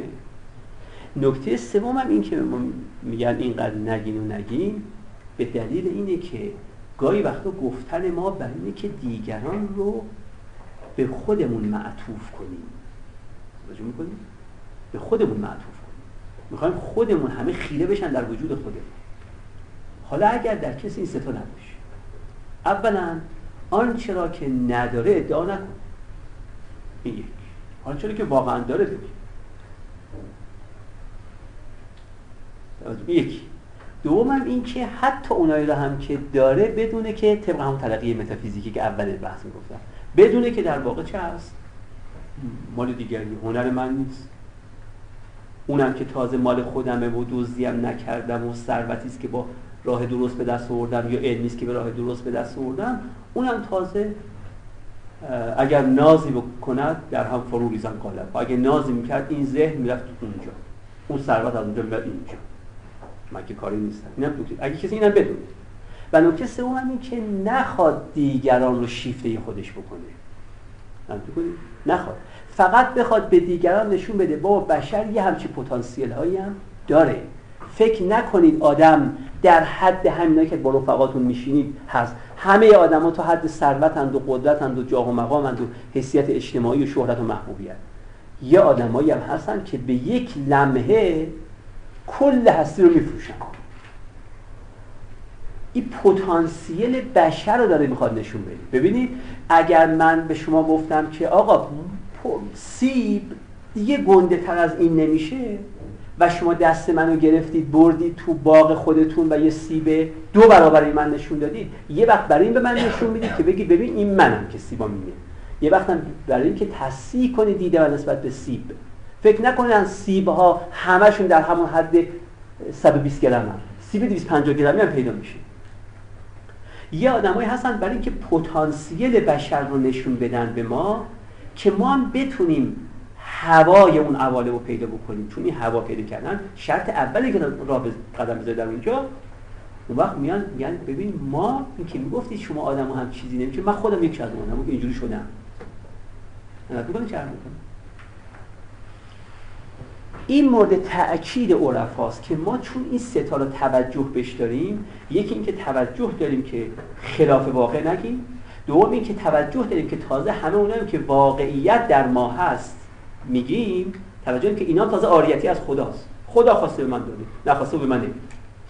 و سوم هم این که نمی‌خوایم خودمون رو به رخ شما بکشیم. نمی‌خوایم خود شما شیفتی خودمون می‌خوایم پتانسیال شما رو به شما نشون بدیم. بگیم بابا شما انسانید منم انسانم. نوع بشر درش پتانسیل هست. به دلیل اینکه در من تحقق پیدا کرده. اینکه در من هست. این در من هست یه باغ سبزی به مخاطب نشون میده که باغ سبز رو تا مخاطب دید و آب از لب و لوچه روحش را افتاد این منشه یک قدم زدن میشه. منشأ یک به راه افتادن میشه.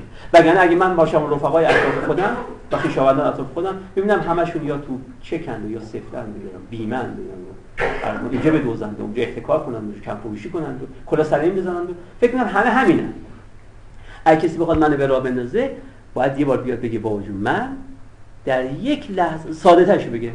بگه من می‌تونستم با یک شهادت دروغ یه میلیارد بگیرم نگرفتم. خود این ازش در ساموزی تازه خیلی کمتر از اون چیزی که شمس در خودش می‌بینه. ها نه. اگه کسی من به شما اثبات کرد که آقا من با یک شهادت دروغ با یک قسم دروغ می‌تونستم یه میلیارد بگیرم و نگرفتم شما پتانسیل انسانی ایمان بیارید. میگید پس میشه آدم اینجوری هم باشه. و خود این آغاز طلب به این لحاظ شمس و مولانا نه فقط خودشون رو معرفی می‌کنن بلکه از ما می‌خوان که معرفی کنیم خودمون رو. البته با هم شرط که هست. حالا اینجا اون نکته ای که اوائل بعد از من گفتم این نکته آخر آخر می‌خوام بگم این هست. ببینید گفتم که فکر نکنیم که واقع بینی نیست وقتی بگیم که این گره ها هستن که خاصیتاشون همه مال کیه؟ مال اون نخه است وقتی بگیم این واقع بینی نمی‌خونه بالاخره این یه نیرویی داره که این نداره. این یه حافظه ای داره که این نداره مثلا این یه هوشی داره که اون نداره.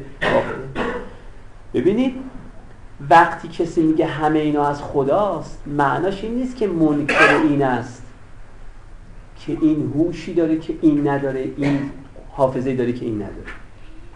فقط بحث بر سر اینه که میگه این هوش این از این بیشتره و هوش این از این کمتره ولی هر دوش آریتی فقط توی آریتی بودن بحث. ترجمه کنید اگر مثال بر شما بزنم. اگر یک کسی اومد مثال بزنم. الان من و شما میریم پیش رفیقمون. پیش رفیق سوم. درسته؟ هم من و هم دوستم. میریم پیش شخص سومی و میگیم یا یه هدیه به ما بده شخص سوم یا یه چیزی به ما امانت بده یا آریه بده یا قرض بده.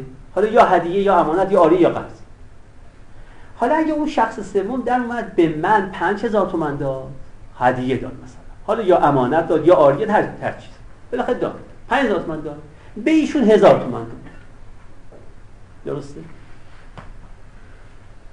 آیا من درست نیست که بگم من پنج برابر ایشون دارم؟ واقعیت. اما در این حال توجه داشته باشم که هم من پنج برابر و هم این یک پنجم من هر دو از کس دیگه گرفته بنابراین معناش نیست که ملکیان تو نگو من پنج هزار تومن دارم و ایشون هزار تومن داره من, من پنج برابر ایشون دارم. نمیگن اینو نگو. میگن اینو بگو. ولی بدون هم پنج هزار تومن تو و هم هزار تومن او هر دوش از کسی دیگری به وام گرفته شده به امانت گرفته شده به آریه گرفته شده. این که و بنابراین انکارش واقعیتی هم نیست. قبول می‌کنم که هوش ایشون از هوش ایشون بیشتره. حافظه ایشون از حافظه ایشون قوی تره ایشون زیباتر از اونم اون زشتر از این همینا قبول می‌کنم. اما میگم همون زیبایی و همون زشتی و همون داری و همون نداری همش در واقع آریتی این به نظر من ارکان اخلاق شمس منتها با دو تا قید که کردم. یکی اینکه من ارتباط انسان با طبیعت رو نگفتم. اگه دقت از ارتباط انسان با خدا شروع کردم. بعد خودش و بعد انسان دیگه. طبیعت نگفتم. بعدم یه بخشی از حرفای شمس من نمی‌فهمم. یا اگه من می‌فهمم نمی‌تونم تبیین بکنم. اونا من نگفتم. ولی این 26 فقره که با شمارش خودم 26 فقره است. این 26 فقره به من کل نظام وظیفه شناختی شمس رو عرضه می‌کنه. و سلام علیکم.